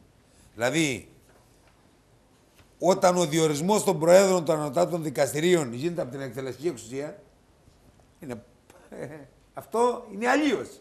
Το πρώτο. Το δεύτερο. Υπάρχει απρόσβλητο αποφάσεων ενώπιον του Συμβουλίου της Επικρατείας. Που το είδατε και μπροστά σας. Σαφώς και υπάρχει. Το τρίτο. Η δικαιοσύνη εδώ, η ανεξαρτησία της, πού έχει την εφεδρεία του εξυγχρονισμού και του εξορθολογισμού. Γιατί και τα δύο παρακάμπτονται. Και όχι μόνο αυτό, αν πάρει κανείς ότι από το Σύνταγμα η νομοθετική λειτουργία βασίζεται στη λαϊκή κυριαρχία, που είναι άρθρο του Συντάγματος μέσα, εδώ έχουμε ένα κυρίαρχο ζήτημα το οποίο έχει να κάνει το εξής. Ότι όχι απλώς δεν είναι ανεξάρτητη, αλλά είναι και μια εξαιρετημένη μεταβλητή αστάθμη των παραγόντων. Ο ΣΥΡΙΖΑ, εδώ. Και παίρνει θέση ο ΣΥΡΙΖΑ για τον βουλευτό του. Είναι σήμερα ανάγκη, ναι ή όχι, με όλα αυτά που ακούστηκαν και με τα 10 σημεία που έθεσα και με το πολιτικό γίγνεσθε που έβαλα. Να δημιουργήσεις μια προστασία του κατώτατου δικαστή; Ναι. Πώς; Παραδείγματος χάρη με ένα αντικειμενικό σύστημα τοποθέτησης μετάθεσης απόσπασης. Το ζήσατε σε δύο περιπτώσεις. Δεύτερον, μπορεί στο ανώτατο ειδικό δικαστήριο να του δημιουργήσει συνθήκες διαφάνεια. Πώς; Γιατί λένε ο ΣΥΡΙΖΑ δεν έχει προτάσεις. Έχει. Πώς; Με το να κάνει τον ανώτατο δικαστή με πλήρη και αποκλειστική απασχόληση. Τρίτον, Μπορείς να δημιουργήσεις εναντίον στη διαφθορά ζητήματα. Πώς; Με το να μην αφήσεις να ακυρώνει αποφάσεις όχι μόνο από τα ανώτατα, αλλά και από τα μικρά δικαστήρια. Δημιουργήστε επίσης συνθήκες να αναθέτεις υποθέσεις για να μην μπαίνουν ζητήματα μεροληψίας με κλήρωση. Πάγιο αίτημα και συνδικαλιστικών οργάνων και δικαστικών και δικηγόρων. Με κλήρωση. Με κλήρωση γίνεται. Πώς; Με κλήρωση. Με κλήρωση γίνεται. γίνεται με κλήρωση. Όχι, δεν γίνεται. Ε, πώς; Και έχει τη δυνατότητα πολλές φορές και κάνει άμεσε αναθέσει. Και Αυτό το μπορείτε γνωρίζουμε. να πάτε να παρασταθείτε σε κληρώσεις. Παναγία. Ε, πότε, Το έχω πώς, δει. Παναγία μου. Αυτό. Αφού δεν ξέρουμε μέχρι την παραμονή ποιοι είναι οι δικαστές των Και ασφαλιστικών. ένα και μου λέτε τελευταίο ότι μέτρο γίνονται. είναι ότι πλέον αυτός ο περιορισμός στη θέση των αντιπροέδρων που παίζουν τα παιχνιδάκια των τριών-τεσσάρων με το να μην γνωρίζουν το να γίνει ένας μονόδρομος είναι επιτακτική ανάγκη. Αυτά είναι όσα αφορά σε προτάσεις για τη δικαιοσύνη. Και πάω τώρα στο εξής. Μάκη μου, όταν από τις 8.500 offshore εταιρείες έχεις ελέγξει μόνο δύο και έχεις πάρει 350 εκατομμύρια, που με μαθηματικό τρόπο αν τις είχες ελέγξει όλες θα είχες πάρει πόσα δεις. Ένα. Σωστά. Όταν μπαίνεις μέσα στα σκάφη αναψυχής που τα αρχίσανε τα ενοχικά κόμματα και τα αρχίσανε να τα καταγράφουν για να τα φορολογήσουν και έχουν μείνει μόνο ακόμα στην καταγραφή. Δύο. Τρίτον, όταν φτάνει σήμερα και έχεις το ΣΔΟΕ, το οποίο το σμπαραλιάζει σήμερα και του δημιουργείς τον προληπτικό έλεγχο στην εφορία με δυσχυδή μορφή, με αποτέλεσμα εφορία που δεν έχει δυνατότητα σήμερα να κάνει τη λειτουργία του ΣΔΟΕ, του δίδεις τέτοιες αρμοδιότητες με αποτέλεσμα να λες ότι δεν έχω την πολιτική βούληση να βάλω χέρι πάνω σε αυτό. Και όταν έχεις συγκεκριμένους επιχειρηματίες τέτοια, που η λέξη παρά, όπως λες παρά δικαστικό, είναι 47, τις οποίες δεν θα φάω το χρόνο σου, από την παρα, παραεμπόριο, από την παραηγία που είμαι καρδιολόγος, απαρά παρά παρά. Το οποίο παρά παρά παρά σήμερα βγαίνει ότι αντιστοιχείς στο 7% του ΑΕΠ, δηλαδή φτάνει γύρω στα 56 δις, το παρά στην οικονομία σήμερα. Με- πα- Πέρα από αυτά δεν έχεις να πεις τίποτα άλλο. Διάλειμμα και επιστρέφουμε για να κλείσουμε.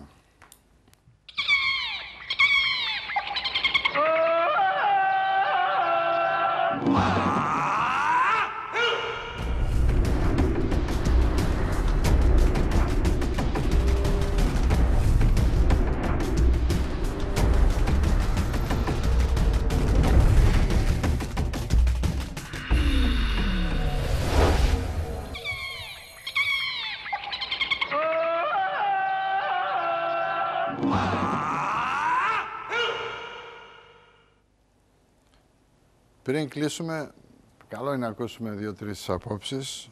Έχω πάρει εδώ τα μηνύματα, τηλεφωνήματα, σχόλια. Δεν χρειάζεται. Κάποιος κύριε Σαραντίδη γείτονας λέει ζούσε πλουσιοπάροχα, αγόραζε βίλες τέτοια και. Ε; Έχετε γειτονάκια που σας αγαπάνε πολύ, βλέπω. Έχω και ξενοδοχείο. Ναι. Υπάρχει κάποιος, Γεώργιος Σαραντίδης, να ξέρετε, ακούστε, ο οποίος έχει ξενοδοχείο στη Λευκάδα. Ίσως με συγχαίουν με αυτόν. Έψαξα και τον βρήκα τον άνθρωπο, ο οποίος βέβαια είναι κατά πολύ νεότερος από μένα. Δεν έχει καμία σχέση με μένα. Εντάξει, δεν Όμως χρειάζεται. αυτά τα πράγματα λέγονται, εντάξει. Έτσι κι αλλιώς. Εγώ θέλω να πάω λίγο απέναντι. Στον κύριο Μουστάκη που είναι άνεργος και φιλοξενείται στου γειτόνες του Δήμου Αθηναίων. Νέος άνεργος και νέος άστεγο. Εκ μέρους των ανέργων που είστε σήμερα εδώ και που θα σας έχω σε κάθε εκπομπή. τέτοια εκπομπή, επειδή με τον κύριο Σαραντίδη έχουμε, έχουμε να πούμε πάρα πολλά για πολύ μεγάλο χρονικό διάστημα και τη Δευτέρα εδώ θα είναι. Λοιπόν, έχει συνέχεια η ιστορία, δεν, είναι, δεν τελειώσαμε, μόλις αρχίσαμε. Έτσι τη δική σας άποψη. Τι να πούμε εμείς,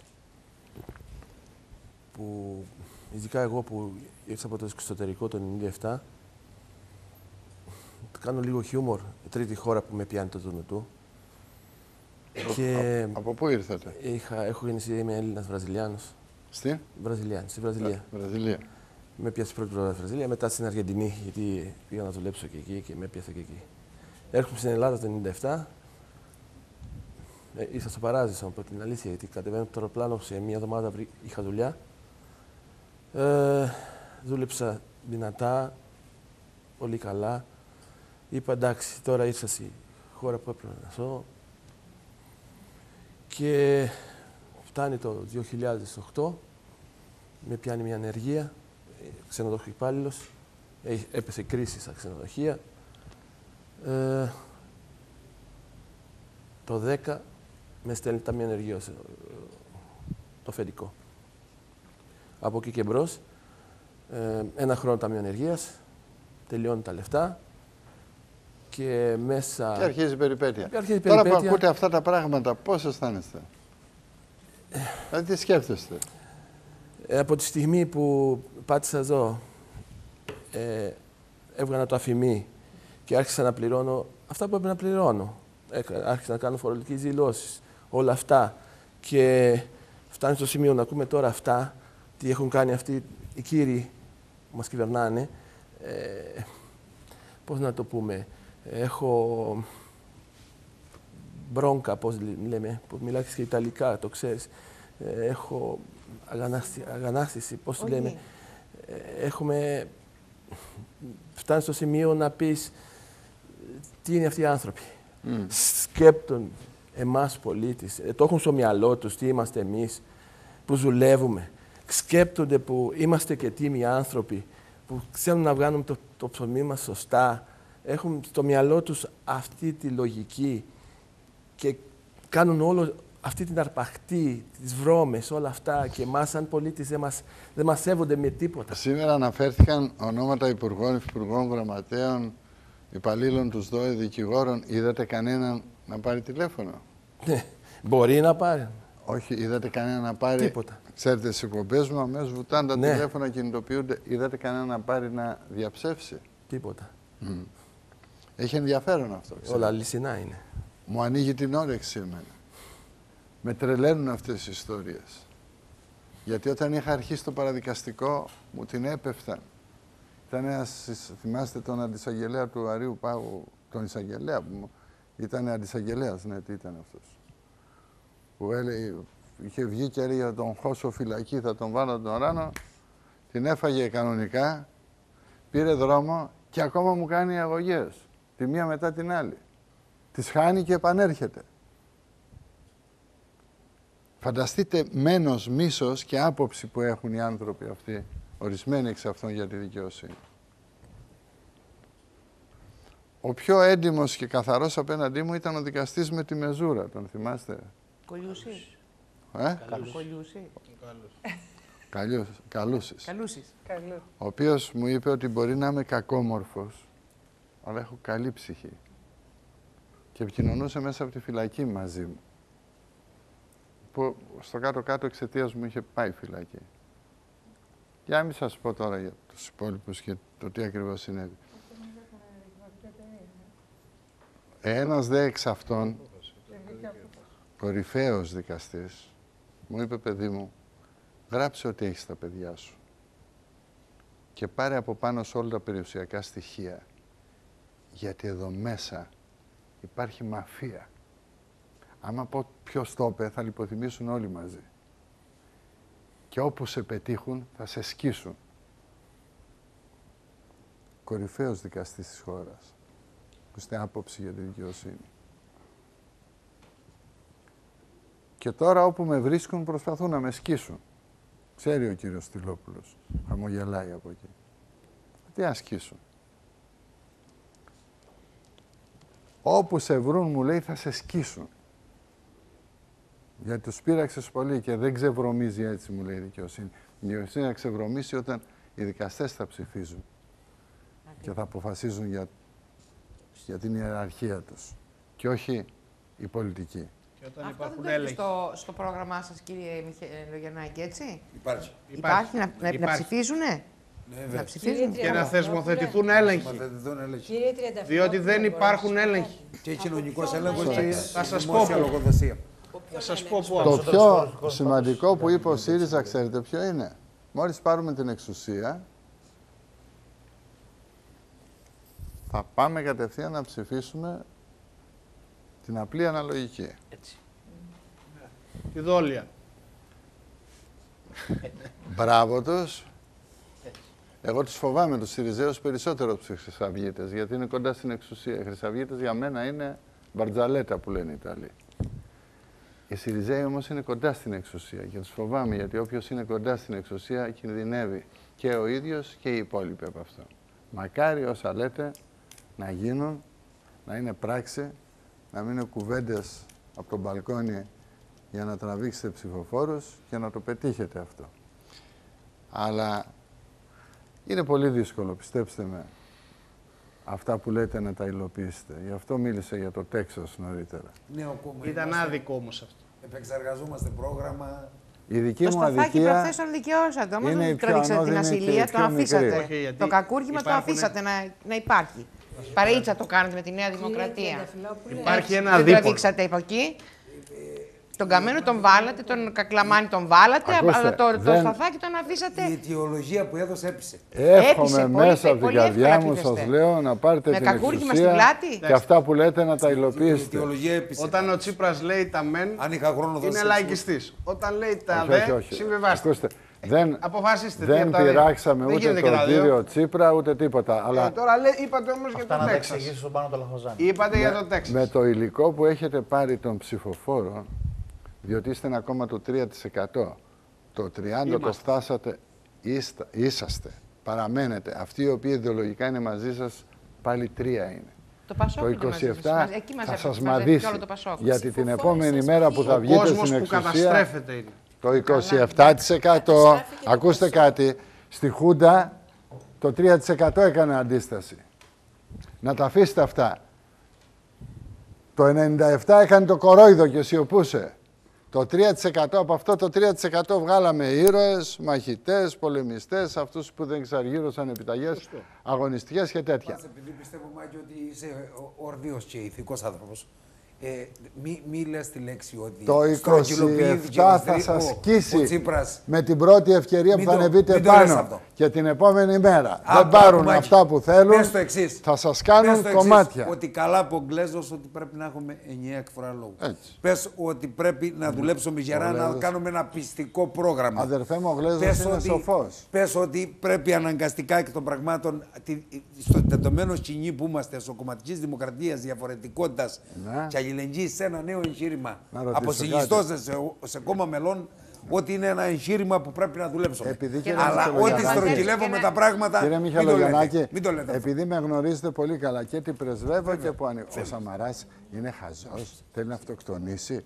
Δηλαδή τα έχει, δεν τα δίνει και δι- θέλει να πηδήξει από τον 18ο όροφο. Είναι πληρωμένος μισθοφόρος των αφεντικών. Είναι οπωσδήποτε θέλει να του πάρουν το κεφάλι και να φύγει με ελικόπτερο; Όχι, είναι Γιατί- σε ένα χώρο που ελέγχεται. Ε; Ο χώρος. Ποιον, ε, σε Από ελέγχει. ποιον ελέγχεται; Από, τη- αυτούς που ψήφισαν από τη- απαλλαγή από Siemens. τη- Ωραία. την πραγματικότητα Ένα λεπτό, έλεγα. κύριε Από τη Κρανιώτη, Siemens. μη συγχύζεστε, θα Όχι, έρθω δεν σε εσάς. συγχύζομαι. Και Αυτό- ρωτάω Τι εγώ. ψήφισαν οι βουλευτές του Πασόκ και της Και- Νέας Δημοκρατίας για τη Siemens. Και, Και, γιατί το και ψήφισαν. ρωτώ εγώ, επειδή είδε ο κύριος Τσίπρας τον Όλη Ρεν, αύριο θα γίνεται εξουσία Φυσικά. Και θα απευθυνθείτε στους δανειστές. Βεβαίως. Έχετε δει κανέναν δανειζόμενο να επιβάλλει όρους στο δανειστή του, γιατί εγώ δεν είδα.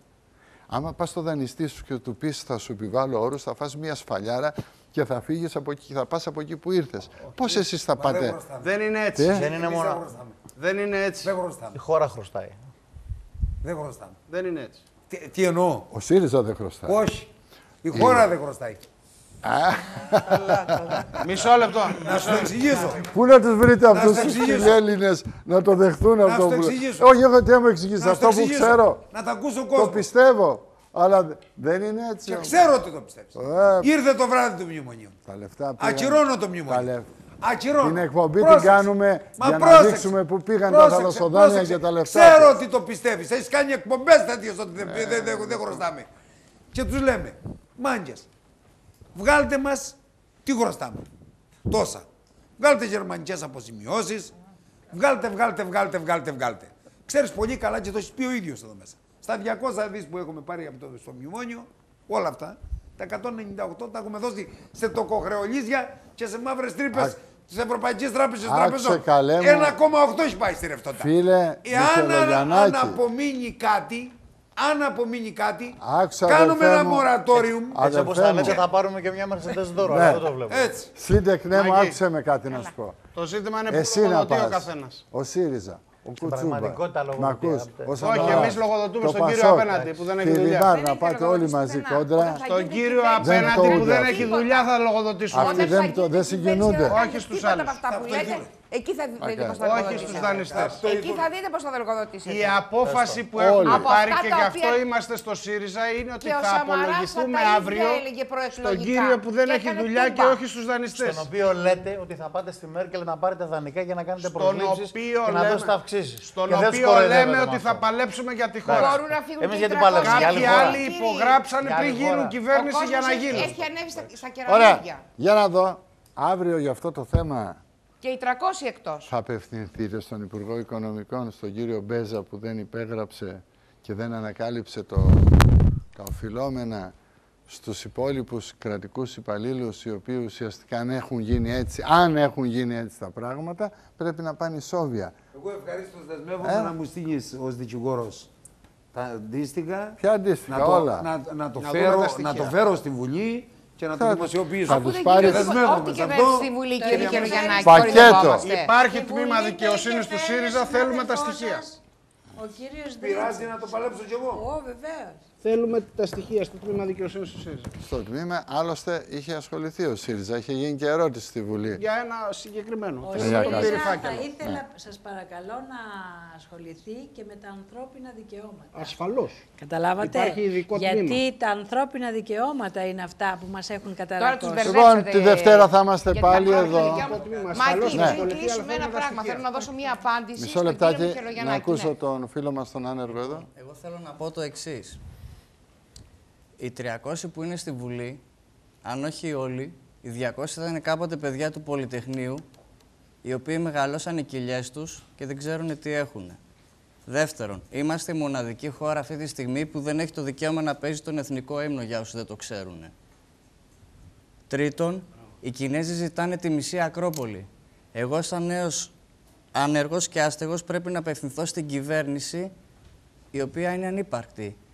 Όταν βλέπω πολιτικούς, εξαιρώ τους παρευρισκόμενους για το λόγο του ότι έχω μιλήσει με κάποιους, δεν μπορώ να έχω αν- ακριβής εικόνα, όταν βλέπω στα κανάλια ε, αυτούς που κυβερνάνε να μαλώνουν με αυτούς που θέλουν να βγουν, το μόνο υπότιτλο που μπορώ να βάλω από κάτω είναι «Οι πράσινοι φάγατε αρκετά, δώστε και λίγα στους μπλε και τούμπαλις». Είναι η μόνη μετάφραση που μπορώ να δώσω. Δώστε και σε εμάς να φάμε λίγο. Δεν μπορώ να το μεταφράσω αλλιώς. Να σας Αυτό. πω τρία πράγματα. Καταρχήν, στο Πολυτεχνείο ήταν πολλοί κόσμος. Κάποιοι επωφελήθηκαν. Αυτό δεν έχει να κάνει με το Πολυτεχνείο. Όλα τα πράγματα που έχουν αξία μπορούν και να τα εκμεταλλευτούν κάποιοι. Σαφώς. Όσον αφορά τον εθνικό ύμνο, έγινε ένα πράγμα που πέρασε στα ψηλά μάκη. Βγήκε μια ανακοίνωση του υπευθύνου της καγκελαρίας, παραμονή που θα πήγαινε ο Πρωθυπουργός της Ελλάδας. Εγώ το αισθάνομαι σαν προσβολή, παρότι δεν είμαι ο παδός του κ. Σαμαρά, γιατί είναι ο Πρωθυπουργός της χώρας μου. Και λέει, θα έρθει ο Έλληνας Πρωθυπουργός να ενημερώσει την κυρία Μέρκελ και δεν θα γίνει διαπραγμάτευση. Έτσι είπε, και δεν συγκινήθηκε κανένας στην Ελλάδα. Δηλαδή, ποιος ενημερώνει ποιον; Ένας πρωθυπουργός ενημερώνει ποιον; Τον άλλο πρωθυπουργό ενημερώνει. Όχι, οι υφιστάμενοι ενημερώνουν. Οι πρωθυπουργοί, ενημε... οι πρωθυπουργοί κάνουν διαπραγματεύσεις. Εντάξει. Ε, υπάρχουν και η- μια φάση Έτσι διαπραγμάτευσης- νομίζουμε εμείς, είμαστε μια κακοί, φάση δεν πειράζει. διαπραγμάτευσης είναι και ενημέρωση. ξέρετε. Είμαστε κακοί. Έτσι, εντάξει, Εμείς τώρα, αυτά είναι ξέρουμε ότι υπερβολές που ενημερώνουν οι υφιστάμενοι τους προϊσταμένους. Οι ισότιμοι διαπραγματεύονται. Έτσι νομίζουμε. Μπορεί να κάνουμε Η λάθος. ένστασή μου είναι σχετικά. Το θέμα είναι ότι στους Έλληνες δυστυχώς έχουμε το κακό ελάττωμα. Η μερι- μεγάλη μερίδα των Ελλήνων όταν βολευτούμε ξεχνάμε και ποιοι είμαστε και την καταγωγή μας και το πόσο εύκολο είναι να ξαναγυρίσουμε εκεί που ήμασταν. Είναι πολύ εύκολο. Αυτό είναι μια μεγάλη πρόκληση. Πες το ξεκάθαρα αυτό που μου είπες στο λουτρό την ώρα που πίναμε τα χέρια μας. Είμαστε- Ότι θα βλέπεις σε λίγο Έλληνας Κινέζικη τσόντα με Και θα παίζει ο πίκρουζι εθνικός τον ύμνος. εθνικό ύμνο. Πες το. Ναι. Γιατί ρε παιδιά, ευχαριστώ. από πού βγαίνει αυτό δηλαδή, ότι Αυτό- θα γίνει; Και ότι αυτό- μας απαγορεύσανε αυτό και τον το εθνικό οποίο- ύμνο. Από πού βγαίνει αυτό, ποιος το λέει αυτό. δηλαδή; Ποιος μπορεί να το απαγορεύσει; Μα ε, κανένας δεν Κανένας. απαγορεύσει, γιατί συζητάμε για κάτι που δεν υπάρχει. Αυτό Παρακαλώ. το οποίο εμένα με προβληματίζει. Δύο λόγια για να Ναι, κλείσουμε. δύο λόγια, πραγματικά. Αυτό το οποίο εμένα με προβληματίζει είναι αυτό το οποίο εσείς επισημάνατε σε σχέση με τα όσα κατήγγειλε απόψε ο κ. Σαραντίδης, η σιωπή. Ελπίζω να μην είναι η σιωπή των αμνών, αλλά να οφείλεται λόγω στο προκεχωρημένο της ώρας. Σε σχέση με τα πρόσωπα και τους θεσμούς που εμπλέκονται. Και εμένα με ενδιαφέρει πρωτίστως η δικαιοσύνη. Διότι στην περίπτωση που αληθεύουν τα όσα έχει καταγγείλει ο κ. Σαραντίδης, τότε πραγματικά πρέπει να προβληματιστούμε πάρα πάρα πολύ για το ποιον χώρο υπηρετούμε. Θέλω να πιστεύω ότι από αύριο οι αρμόδιοι φορείς και τα θεσμικά όργανα θα επιληφθούν πάρα αυτά. Αμελητή, χωρίς καμία καθυστέρηση. Έτσι περαιτέρω. Κάτι δεν γίνει τώρα, θα γίνει λίγο πιο αργά. Μην το δούμε. στενοχωριέστε. Ο καλός, λέει ο Μήλος, θα λέθει όλα. Μην στενοχωριέστε. Σε ευχαριστώ για την παρουσία σας. Πάντως, ένα πράγμα βγαίνει ως, ως αποτέλεσμα όλης αυτής της συζήτησης. Είναι η τρίτη, τέταρτη εκπομπή που κάνεις, Μάκη. Υπάρχει έλλειμμα, δεν έχουμε έλλειμμα πολιτικής, δεν έχουμε έλλειμμα οικονομικό, έχουμε έλλειμμα δικαιοσύνης, κύριοι. Εάν υπήρχε δικαιοσύνη, σήμερα δεν θα καθόμασταν ούτε εδώ, ούτε θα είχαν γίνει όλα αυτά. Ο κόσμος λοιπόν κακώς πηγαίνει στο Σύνταγμα. Στα δικαστήρια απ' έξω και να μην μείνει τίποτα όρθιο. Καλή σας ημέρα. Θα τα πούμε τη Δευτέρα. Γεια σας και χαρά σας.